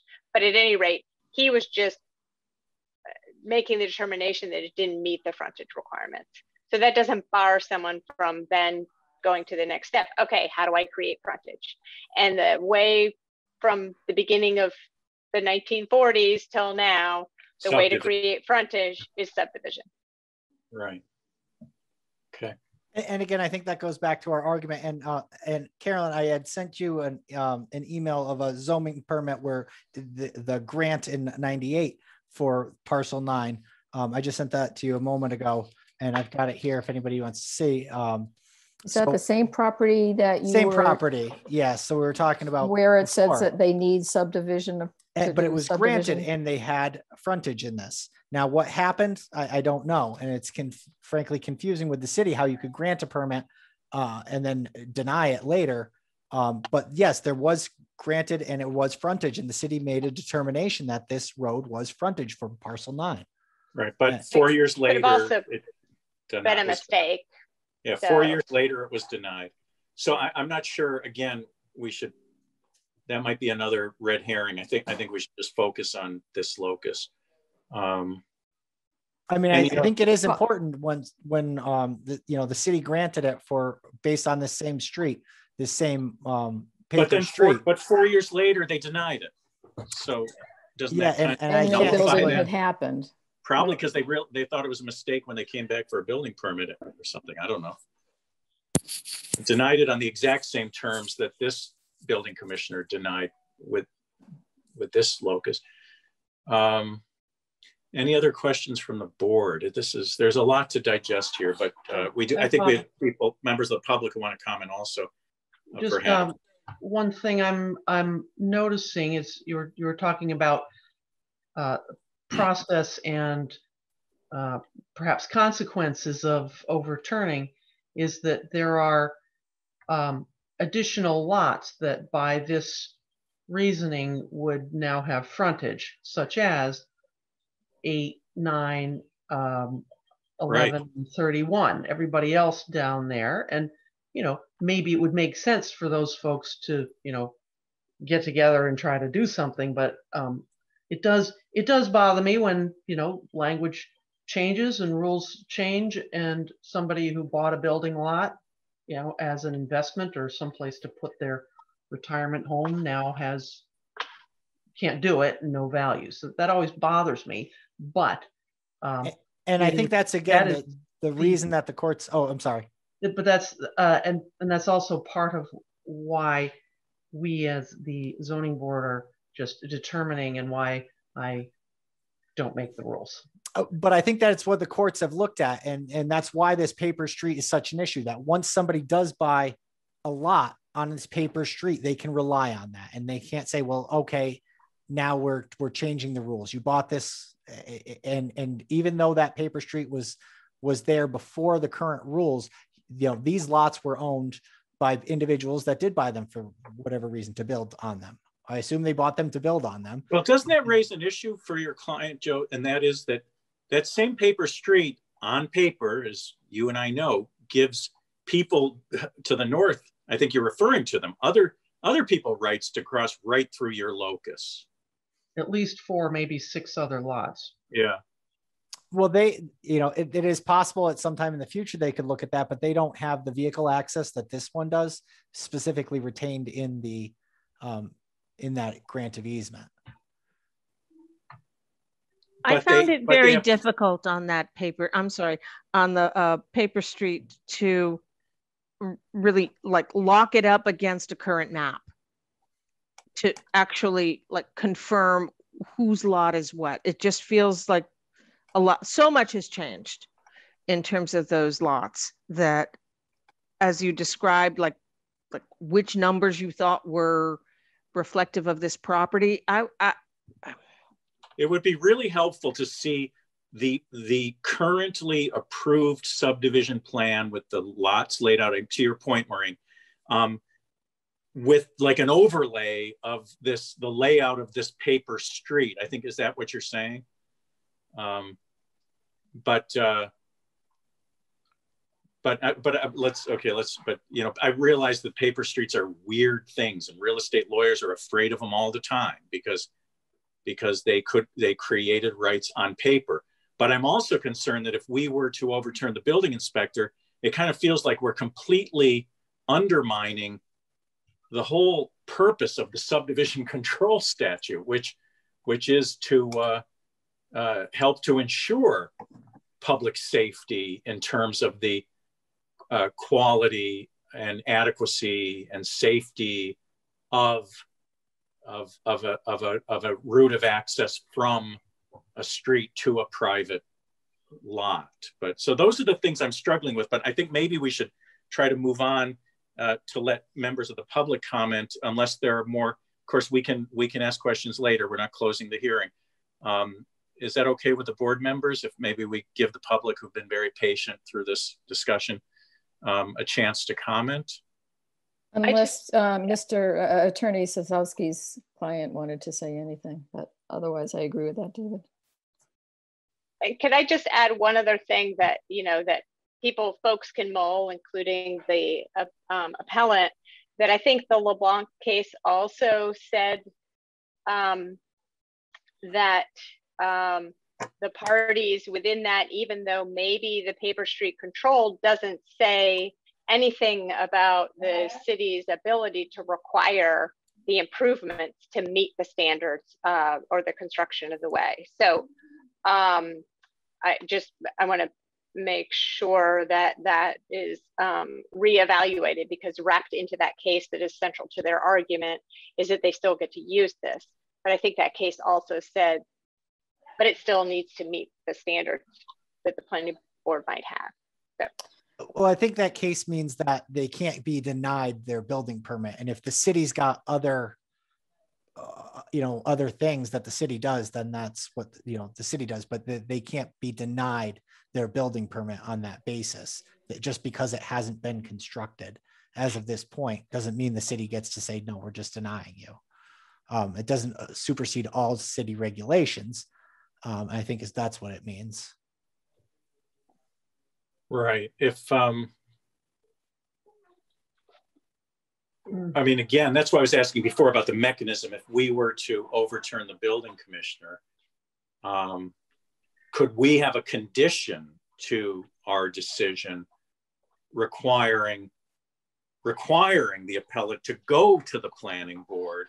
They are the experts at this, the planning board, to uh, have the authority to verify that frontage standards um, that any work that's done satisfies the frontage standards of the planning board or that's what i was getting at or, or does that not really work a mechanism like that I don't see how we can how, how the planning board could have jurisdiction over that if we make a determination that it meets the frontage. And that's what we would have to determine in order to overturn, right?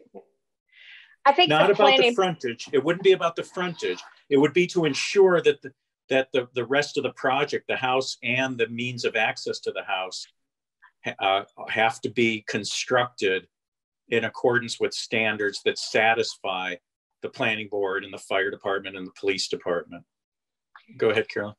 I was just gonna say, I don't, I don't think that would be a condition necessarily that you would place and, and may sound like a little bit like I'm backtracking, but I think the central issue is either you're, you're holding up the determination by the building commissioner that he can't find that frontage is being met, but the planning board can either by reviewing a subdivision or evaluating the facts on the ground and saying, oh, this does meet adequate access and safety for, um, you know, and and they could review the ground and say, okay, nothing needs to be done because this is a public, um, this meets the definition of a public way, or they need to go through, I mean, it's our representation. I think they need to go through subdivision approval because there's no improvement past the point that's been accepted. But I think the bottom line is your jurisdiction is to say, did the building commissioner err or not? Well, can we, could we flip it to the planning board without making a determination? Uh, no. Okay.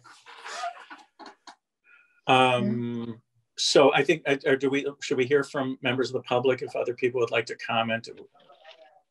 And I'll ask that anyone who does speak, uh, first of all, either raise your hand. Is that how it works, Carolyn? Or Yeah. um, and then you- Electronically, uh, and then under the Carolyn- reaction button. and then Carolyn will what? Unmute. You'll unmute that person.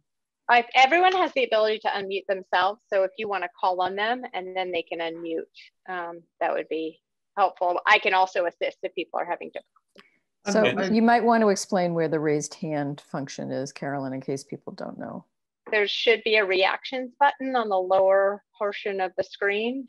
Um, for the people who call in um, or called in and want to raise their hand, I believe it is star nine. And Um, People on Zoom, if you go to participants, it will show up. If you click on participants, it will show up at the bottom of that, right? That's where mine Um, is. No. That's where mine is. yeah. Oh, I, I see. think- Yes. Yeah. So, When click- um, Just um, procedurally for the meeting, it's uh, 10 after 7. Um, we have various options as a board. We can ask for more information. We could continue, um, or we could close the hearing and make a decision. Um, I just want to say those out loud as those are the possibilities. Right. We could also take a little break. Uh, at least the board members have not been able to take a break. I don't know, I guess. But uh, um, why don't we get started? I will ask that anyone who wants to speak identify your, your name and address for the record that, that is being kept. Um, and again, address questions or comments to, it doesn't really matter, we're virtual, but to board members. I think Um, we should be asking just for the town, not the address. Is that right, Carolyn? no, that's, city council has devised that as their preferred their- mechanism. Okay. This, that's- uh, it's important because um, it really know. relates to the proximity of the proposed project. So you Okay. want to get a sense of where people are in relation to. Makes sense. Okay, Okay. does anybody want to speak? And Carolyn, you may have to help me. I might not be able to tell or see if somebody wants Yep. to speak.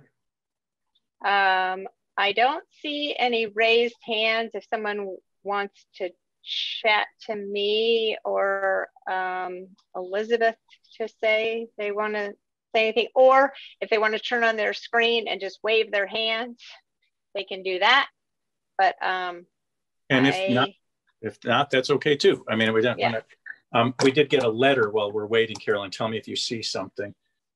Uh, we did get a letter, which I assume now is in the file, Carolyn, that you sent us today. Um, yes, from Deb Jacobs. Yes, that's in the online file. Okay. Um, I, so I don't need to read that letter. I, I, I suppose No. I could I could just summarize it in a sentence. It's from Deb Jacobs, and she uh, is writing in support of the building in support of the commissioner's denial of the building permit. Um, for safety reasons, it makes no sense to consider the end of the street that is narrower than most to constitute frontage. And then she talks about policies apparently of the Leeds, Massachusetts postmaster. Um, but that that that is available in the online file, correct, Carolyn? Yes. Uh, uh, so maybe maybe maybe we can move on if there's no one. I, want to make sure we're not missing somebody who wants to talk. But I Someone see Rose just- Bookbinder. Hi. Um, sorry, I'm um, just driving back from work. Um, I, I Rose Bookbinder. Um, I uh, grew up at 88 Grove Avenue um, and currently co-own that um, with my mom, but I also reside in Haydenville, Mass, um, just up the road. And I just wanted to speak um, also um, in agreement with the building commissioner's um, denial of this project.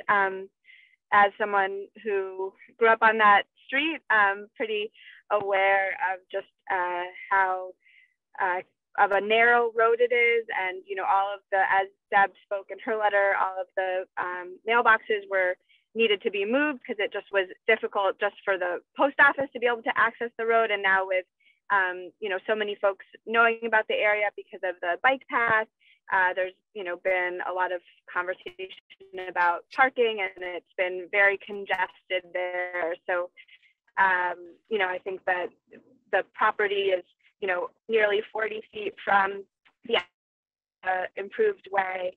And um, you know while um, you know i appreciate that folks want to you know enjoy that beautiful section of um, northampton just want to recognize that there would be, you know, extreme difficulty for public for access of um, utility vehicles and um, also emergency vehicles, and and just don't think that that this proposed plan is, is appropriate um, for the end of, of the road. So just speaking um, in agreement with the building commissioner's decision.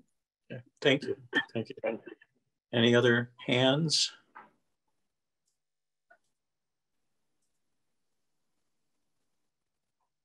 Uh, I don't see any. Carolyn, do you see any? We can- Oh, yeah. Uh, Amy Uh, Bookbinder.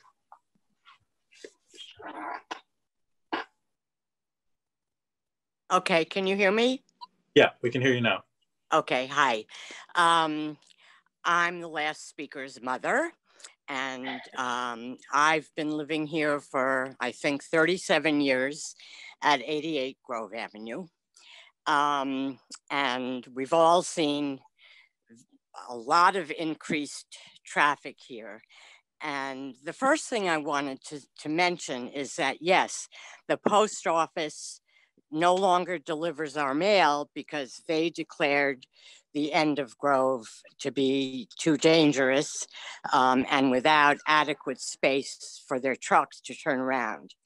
Um, and I also wanted to, I assume that you, you've had a, a site visit here, but if you haven't, uh, or you have, you might have noticed that there are now um, no parking signs that were put up all along this section of Grove Avenue because of concern about the uh, dangerousness of increased parking here because it's narrow, not just, you know, not just, uh, uh, you know, any old not wanting traffic, but because this is uh, a narrow street.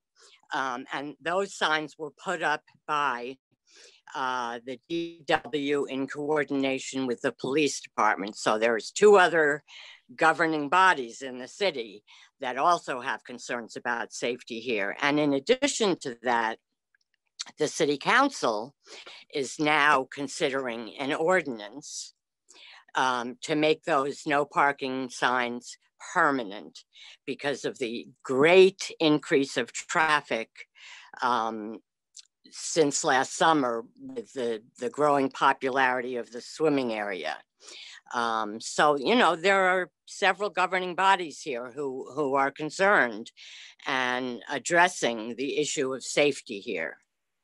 And so that's my the first thing I wanted to say. And the second thing is well, that was a, a big first one, but my second one, and maybe Carolyn, you can help um, explain this better than I could.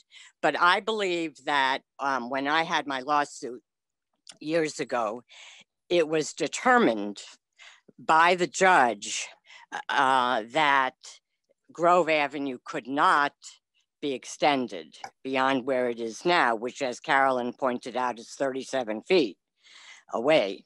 Um, you know, from the from the spot in question. So, uh, Carolyn, maybe you can address that further. But my understanding is that it was determined in that uh, court that it can't be extended.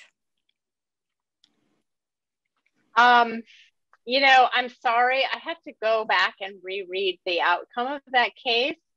Um, so, uh, but I don't, I mean, I think the issue still comes back to um, whether or not it needs sub, I think that probably relates to the fact that the adequacy hasn't been um, created beyond the point that the court determined was the accepted way.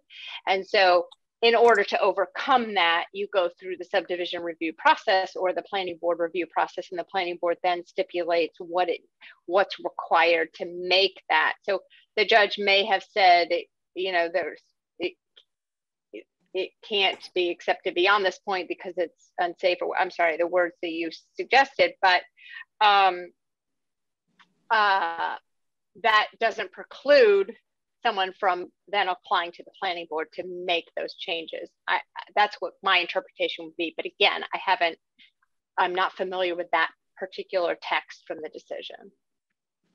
And are you able to say what the planning board's position would be on that? Well, would it uphold the, that the court recommendation or is that unknown? That would be unknown. So someone would have to come um, to um, would have to apply, show what the existing conditions are, show you know the existing extent of the improved way, um, and then um, what what the conditions are between that point and this parcel, and any proposed improvement by any prospective applicant. So it, I I couldn't tell you um, without having without reviewing a plan and the planning board couldn't say anything i think without reviewing a plan. Okay thanks. Yeah. Uh, anybody else who'd like to speak from the public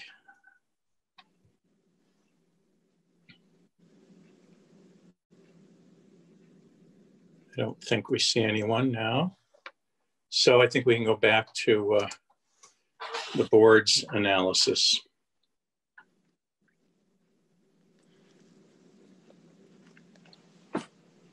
The thing that I'm having the most trouble with is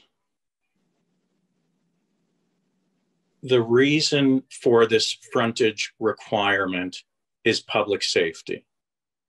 And as I understand it, if we were to overturn the building commissioner's decision, there is no mechanism to ensure that an access way is installed that will satisfy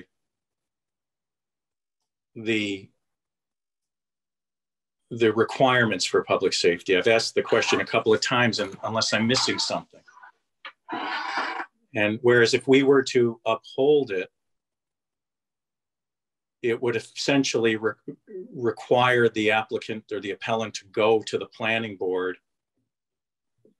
to, to do this correctly and have the plant get the planning board and the city's input on safe and effective access. I know that has nothing to do with the legal arguments that have been made.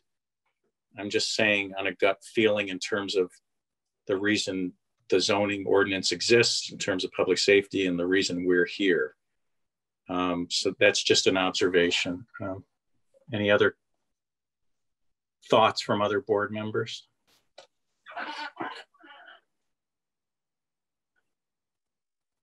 Uh, you're I think muted. You're, you're muted, Elizabeth. I did that when we were listening to other people. Um, yeah, I, I, I agree with that. I, I have to say, I, I feel bad for the appellant here who, you know, perhaps has purchased this property in reliance on building.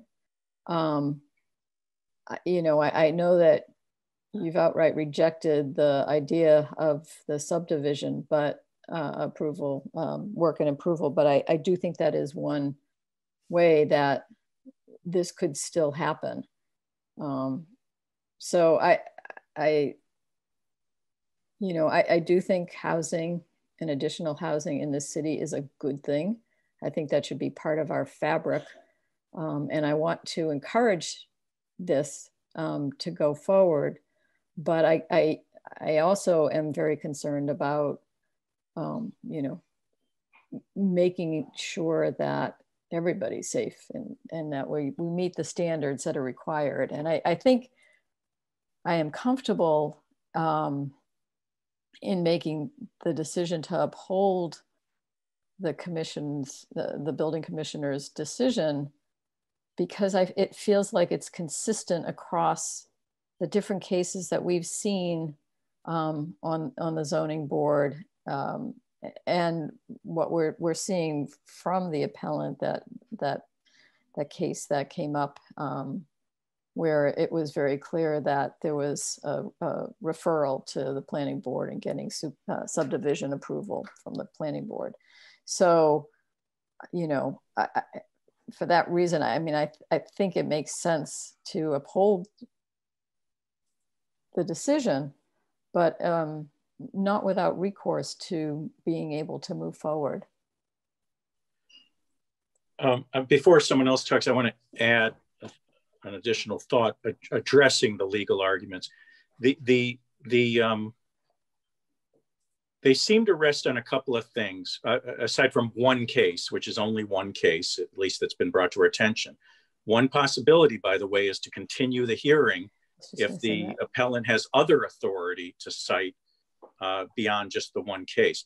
But um, you know, and also you know, to find out what happened between in those four years between that exhibit E. Yeah, yeah.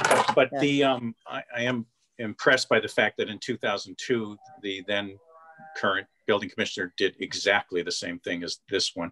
But um, but but the the the the, the arguments seem to rest on one this truly ancient paper street from 1908, um, giving rise to rights. Two, um, I don't deny that the art that the uh, the the owner of the locus, the appellant here, has rights to have access to the lot because they were reserved in the easement that was granted to the city. But to me, that simply does not rise to the level of the required public way, quote unquote, as required for safety and and uh, purposes and public benefit.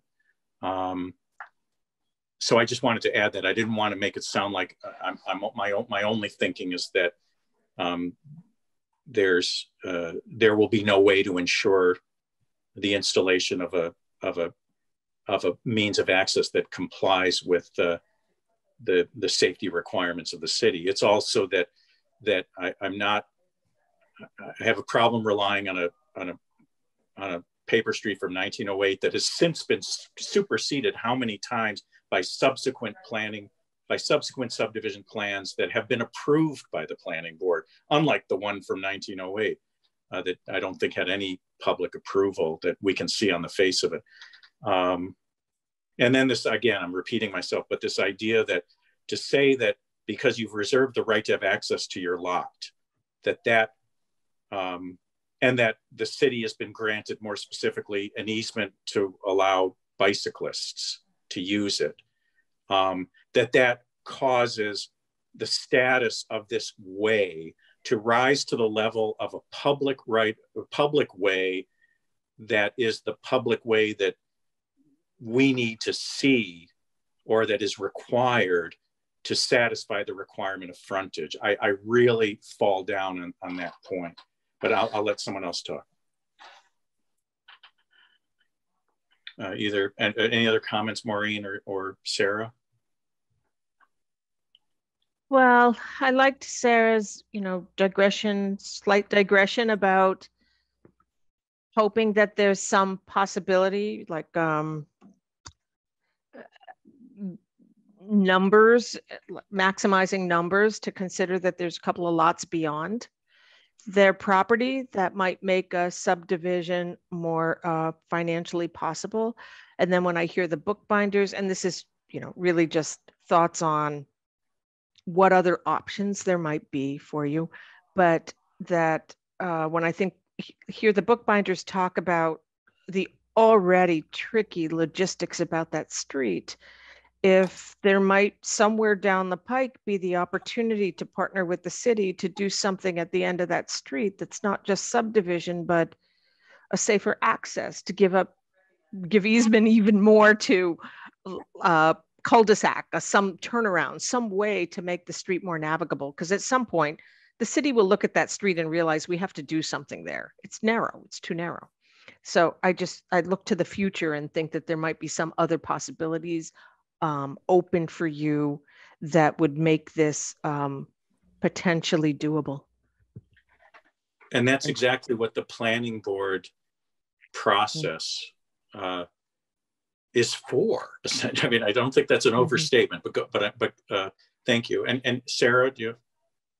Um, yeah, I'm just um, um, uh, what's been bothering me is something about the process, there was, it appears that there was some extensive negotiation uh, between either Hanley or Melnick with the um, uh, Beaver Brook, uh, all, that whole giant A&R, there's a lot of pieces to that, a lot of moving pieces that were negotiated, including that easement, uh, the conservation restrictions, the um, you know what what was the intent in there? Because as that easement was granted to the city was the city not involved in that language that that um, that where the uh, easement was was being granted with the uh, reserving the right to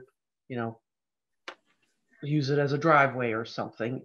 And then the fact that it came off of the paper street status and entered the tax rolls as part of this lot 12 there's there's a lot of moving pieces in there over yeah. many years um, that uh, kind of muddy it for me but when it comes down to the current frontage i see 50 feet at the end of grove ave and that hasn't passed muster in the past with us even aside even aside from the fact that arguably there's a there's a significant gap of 20 or 30 feet from that end of that 50 foot in Grove Ave. That doesn't particularly bother me. Uh, you know, if, if the pavement ends and yes, it's 20 or 30 feet, if someone was putting in a driveway, they would have to pay for that. If they were putting in utilities, they'd have to pay for that. Um, you know, the, the, exactly who owns the middle of the street um, uh, is uh, uh, doesn't help me. The bookbinders own half half of that grove, you know, it's you know, which would restrict the driveway. Is so this, that it gets really muddy really fast when these if if these if these all these arguments aren't taken separately you know, one at a time. Maybe they work, but you stick them all together, and it's uh, it's it's a bit muddy. But you're coming, and I think we've had uh, before that it's coming back to that 50 feet of frontage. And I want to be clear on that with all these arguments. They don't all fit. They're, they're not all together. They, these are alternate.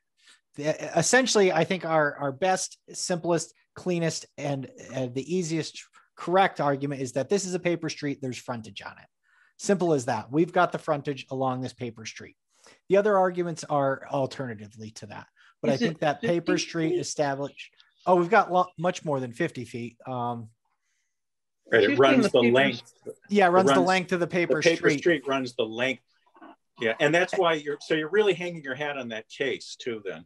Yeah, I, Because I, I think case clearly that ancient paper street that was never developed can rise to the level of front, can, can give rise to frontage that Mhm. satisfies the requirements of the zoning ordinance. and that's what that case says and and that case really supports our case. And and the other arguments are essentially uh, uh, alternate to that. But i think uh, if i'm looking at this correctly it looks like there's about 115 feet of frontage along the paper street. Um and and i think that that alone is, is all that's needed here and these other arguments while maybe confusing maybe um are are certainly alternate and i don't think any other argument that I've I've made needs to to matter essentially besides that first one, which I think wins. And then these other ones, um, if for some reason you guys disagree with me, which I think would be a- against that um, appeals court case, then I think the other arguments do also make some sense in that there is truly um, the access in, and it is a public way. Has, has, uh, the property owner, Hanley, and then Melnick as trustee, not been paying taxes on this funky shape? All that square footage of land, which is shown on the tax assessor map as belonging to that lot? I And Can't it's surveyed say as part of that lot. I haven't seen any survey that shows me uh, that 115 feet of frontage you're talking about. I don't see any, I haven't seen that anywhere that shows me that lot 5-12 has, has, has a line across the front of it that doesn't include what used to be Paper Street. Yeah, but that paper street is is is, is our argument is still there. That's a legal. There are legal rights in that paper street. So it was the uh, ANR survey incorrect? I, I don't think it, it it supersedes or I don't think it erases those legal rights that are exist there. Although that's something not addressed in, in your case that you cite. Yeah, yeah. I, I don't think this A and R plan changes anything or supersedes anybody's rights. This is um, simply a surveyor, I think, saying this is what I see, and and and we don't disagree that we own the fee in that funny shaped lot, but we also say there's also this paper street that is there, and there are other rights besides just the ownership in that. So taking your position in this case, uh, the city has no way to police the uh, safeness, the safety of the specifications for the installation of this access because you just you can just build a house because Well- you're front because you have frontage on a paper street that does not exist. Well, I would say the this isn't certainly the you know the the building commissioner doesn't get to decide that there, if there is or isn't uh, uh, frontage. Um, I would say that's what that case stands for is that you can't deny this building permit based on the fact that that paper street is there and that those rights are there. Did, So how does it get determined if the building inspector is, is forced to grant the building permit? I mean, because under this theory, there are paper streets, as you know, Joe, everywhere. People could just start building houses anywhere they want on, because, you know, on a landlocked piece of land because they have a paper street. Well, I mean, over I- a paper street. I think it's similar to like a pre-existing non-conforming lot. You had those rights. They changed whatever, you know, the city changed the the lot size, therefore. And now your your 40 foot lot that was um an approved lot now should be 50 if it were a new lot, but that pre-existing non-conforming lot still has those rights. It locked in those rights. And and that's what that paper street did. It locks in rights. And now granted, the, the the zoning and these these regulations subdivision control changed hmm. some of those things for things that happened after but they didn't take away rights that had already been in existence at that time they said now going forward when somebody wants to build a new street now they need these these approvals and whatnot. But these old streets that were there, these paper streets that were there pre-existing, these people that had rights in these streets, you we're not taking your rights away. I think I think frankly it would be uh, really almost like a taking if the city were to say no, we're taking this frontage away from you on this paper street, this right that you have. We're saying no. I, I haven't seen oh. um, any any uh, plan. Uh, the ANR. Now this is a stamped plan, stamped surveyor plan that uh, there's there's nothing that shows me that lot 5-12 has 115 feet of frontage on a paper street. I don't see that anywhere. You haven't shown me a, a survey plan that shows me that right. lot 5-12 is a school is a rectangle. Right. That was my idea that if we could see a plan that that superimposed the street from the two, 1908 plan on the the final existing subdivision plan that that you've got. So it, it's an interesting point, Sarah. How, how, do we even know that the paper street is where you say it is? And how does yeah, the building inspector have could hey, there was nothing really for him to to even even if he agreed that the paper street was valid frontage, there's nothing that shows me that. He had no he, he didn't have that a piece of paper in front of him that showed him that. And the even going to pre-existing non-conforming, um, when a pre-existing non-conforming asks for some new construction or building, they have to come for approval. It's not a slam dunk. You they know, there's procedure, you know? Um, can I just ask another question? So the other thing I think about paper streets is you alluded to it before, you own both sides. Um, so when a paper street is not ever built and someone owns um, both sides of it, then that disappears and merges into the private property, which is actually shown on the plan that you've presented, is it's one squiggly lot that has, you know, legs in different directions. And so um, then where uh, from wh where are you have, where do you have frontage along that? Because you don't have it across it on, on both sides. You don't take frontage on both sides of the street. So um, I think there's more information that needs to be um, submitted about how the merger of ownership on both sides doesn't then just extinguish the paper street. Um, and as David, you mentioned previously that many paper streets and um, they're out there and they're not legal frontage as we've continuously interpreted, until someone were to apply to the planning board for subdivision approval to actually build upon that paper street um, and extend it. So um, I think there are um, lots of gaps about this argument that um, the paper, because it's a paper street, therefore it is until the end of time, um, can be can qualify for under zoning for um, frontage and then adequacy of access from that frontage.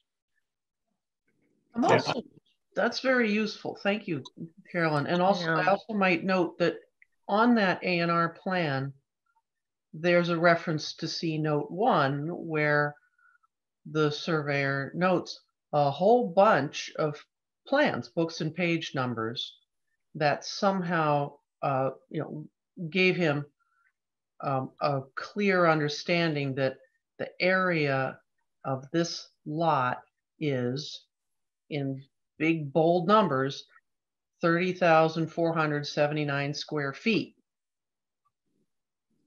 including what had been paper streets. I keep trying. I keep trying to read this decision because I I didn't get the text of the decision until today.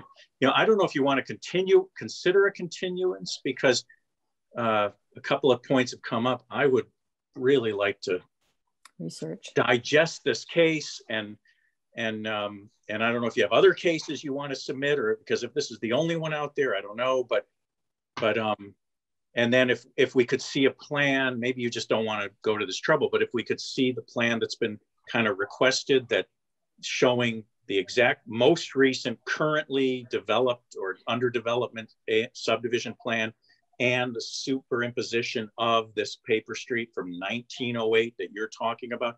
I think that could be very helpful. Now, maybe you don't want to do that survey work. I, I appreciate that. Um, but I guess I'm, I'm saying that, you know, as it takes unanimous decision of the board to overturn the building commissioner's decision. And would it make sense to, you know, to, to submit some more information, any other cases you can find, the survey, the, the plan that's been described, uh, rather than us taking a vote now? Um, I guess is a question. I, I, guess I would add to that that if that's a that's a, a road that you want to follow, then I'm very curious about this other situation where there was a permit issued in uh, 1998, but then reversed in 2002 um, with a recommendation of what the building commissioner this time has recommended. So I, I, or, or if you can get more information about yeah, that, that might be right, persuasive. Anything. anything. Um, and maybe take the time also to talk to any of the other folks that um, you know was suggested that own any of those other properties around the idea of doing the subdivision it's it, you know well i'm happy to leave that decision up to you um, whether or not you want to do that and take that continuance for uh, another to the next hearing and you know delay our final decision i i think there are three of us that have to come to that. Um, maybe maybe not, but I'm you know if that's something that you'd want to do, I'm happy to go with that because I like David. I've been trying to run back and forth to read the decision, and it's just it's not getting in there. So yeah, um, and I realize that's more passage of time, but I, but I think if we were, I mean, you can kind of read the writing on the wall. If if we have to make a decision now, I'm not sure it would be the one that you want. So we're we're trying to sort of be helpful in a way. Yeah. Um, um you know, I I think that the the the you know, like I said, I, I think the um the paper street thing is is there and that case supports that. Um, you know, I don't know if I do submit other things. Um, I think it's we've got to have another hearing at that point. Um, I'm not sure if. Well, when could that be, Carolyn? That uh, the, the I guess second would be the second the second Wait, Thursday have, in June.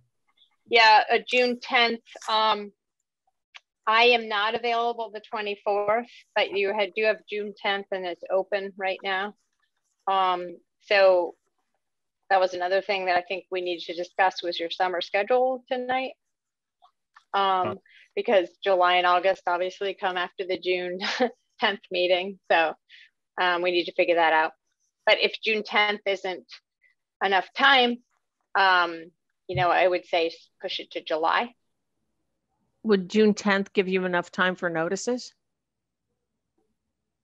I don't think it has to be renoticed, right? Because no, it's oh, okay. you continue okay. it to a date time Great. certain tonight, and Great. there's no notice requirement.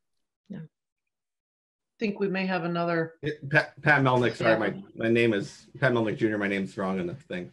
Yeah. I, I, can just tell you that if it would be helpful to you to see where where the uh, Grove Avenue, uh, the, the Washington Heights plan was superimposed onto a current map, I can tell you we can we can do that.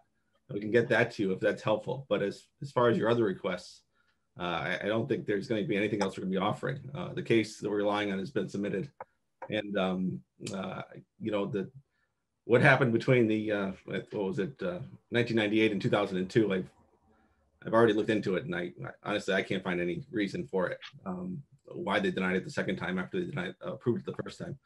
Um, so like I said, if, if, it would be helpful to see the uh, Grove Avenue, uh, the Washington Heights plan laid out uh, over the existing it, plan. It, and Pat, that would enable, I just want to read the damn case. I've been trying to read it through the whole, and I know it's not that long, but you know what I mean. No, I, it's, it's, it's such dense. a critical case for you that I, I'd like to be able to focus on it. Uh, I have case... no problem with, with it going to another date. It's, it's, I guess what you want from us, it, it's, uh, I can get I can get you that. That's not a problem. But uh, the other requests, I don't think will be helpful. So the two things. So I mean, it's your it's your your decision if you want to just ask us for a continuance. It clearly will agree will agree to it. Um, but to me, the two benefits. So we could see that plan that people have been asking for. so we can visualize where this paper street is. And so we can focus on that case and maybe some of us can do some of our own digging to see if we see anything else out there uh, relating to that case to confirm that in our mind, if that case is as definitive as, as, as you feel that it is. Um, that, would be fine. We, well, we, we would be happy to go to, we asked for, you know, one more date then to take a look at those things. June 10th then maybe? So at 5.30, I mean, you don't have anything scheduled right now, so you can put it at 5.30. Um, I, I, better just, let me, I'm just checking my calendar, June 10th after all that. Um, sorry. Um, everyone else okay June 10th? I'm calling up my calendar. Yes, and I think if we start going beyond, then we're going to run into vacation issues, and I think that that could be a problem. So yeah, I can do I can do June 10th. I'm not sure. I bet the appellant doesn't want to wait past then either. No, June 10th I think two weeks that. is fine. Okay, so uh, so I, I take it that that's a request for a continuance. That is yes. our request for a continuance to June 10th. Yeah. Okay, and I get I, I think Carolyn, we need a motion and then a, a roll call vote. All right, so I move to continue this hearing um, until June 10th at 5:30. 5:30 I'm here. Second, a second. Second. Okay, and then I do we need a we need a roll call because it's virtual, right, Carolyn? Yep. So um, Elizabeth Silver. Yes. Um, Sarah Northrop. Yes. Uh, David Bloomberg. Yes. Okay. And does that work for you as well, Maureen, just in case something comes up? Yes. Thank you. Okay. Okay. Uh, okay. So so we'll uh, and then Carolyn, you can communicate with Joe about. I mean, you'll uh, if there are any further communications be between Carolyn and Joe. Right, and um, I'll I right, and so in the intervening time, no contact between the applicant and the board members um, or the members of the public. Um, that would be considered ex parte contact. So you you um, you know um, any everything about this permit application or appeal, I should say, has to be um, discussed in the context of the public hearing. Right. So no discussion among any board members or what you just said. Thank you. Okay. So so I think we can let these folks go. May, can I ask a question? Um, the person who spoke, whose name looks like Torin, yeah. I, you didn't identify yourself, and I'm sorry, I'm not. I don't know who you are. It's sorry, clear that I, Pat, some other I, folks did. I'm Pat Melnick Jr. I, oh, okay. Thank you. No That's enough. Yep. Okay. Thank you, folks. Uh, Thank you. We'll talk to you again. Um, to the board, um, I need to run. Um, is there anything urgent that we have to do right now? Um, I just want to throw out summer schedule. We don't have to do it now. We can just, if you think about it, if you could email me and let me know second or fourth Thursdays through July and August. I actually just realized that I'm going to be away the fourth Thursday of July. So I don't know if you want to do like the first meeting in June, first meeting in July, first meeting in August, or I don't know if that works with your schedule. So I'm just throwing that out there if you could think about it. Um, and if you have to leave and then just email me, that's fine. Yeah, I, Could I you know just that. send that by email? Yeah, we can do this by email. Yeah. yeah. And then um, it sounds like we've chosen the first day of June, but um, yes. available. Day. Um, and then do we just need a motion? I think that's probably a motion to just to adjourn. Yeah. Is that it? We're so, having minutes. Second. Uh, roll call. Uh, Elizabeth? Yes. Um, Sarah? Yes. Uh, Maureen? You sure? Yes. And David? Yep, yes.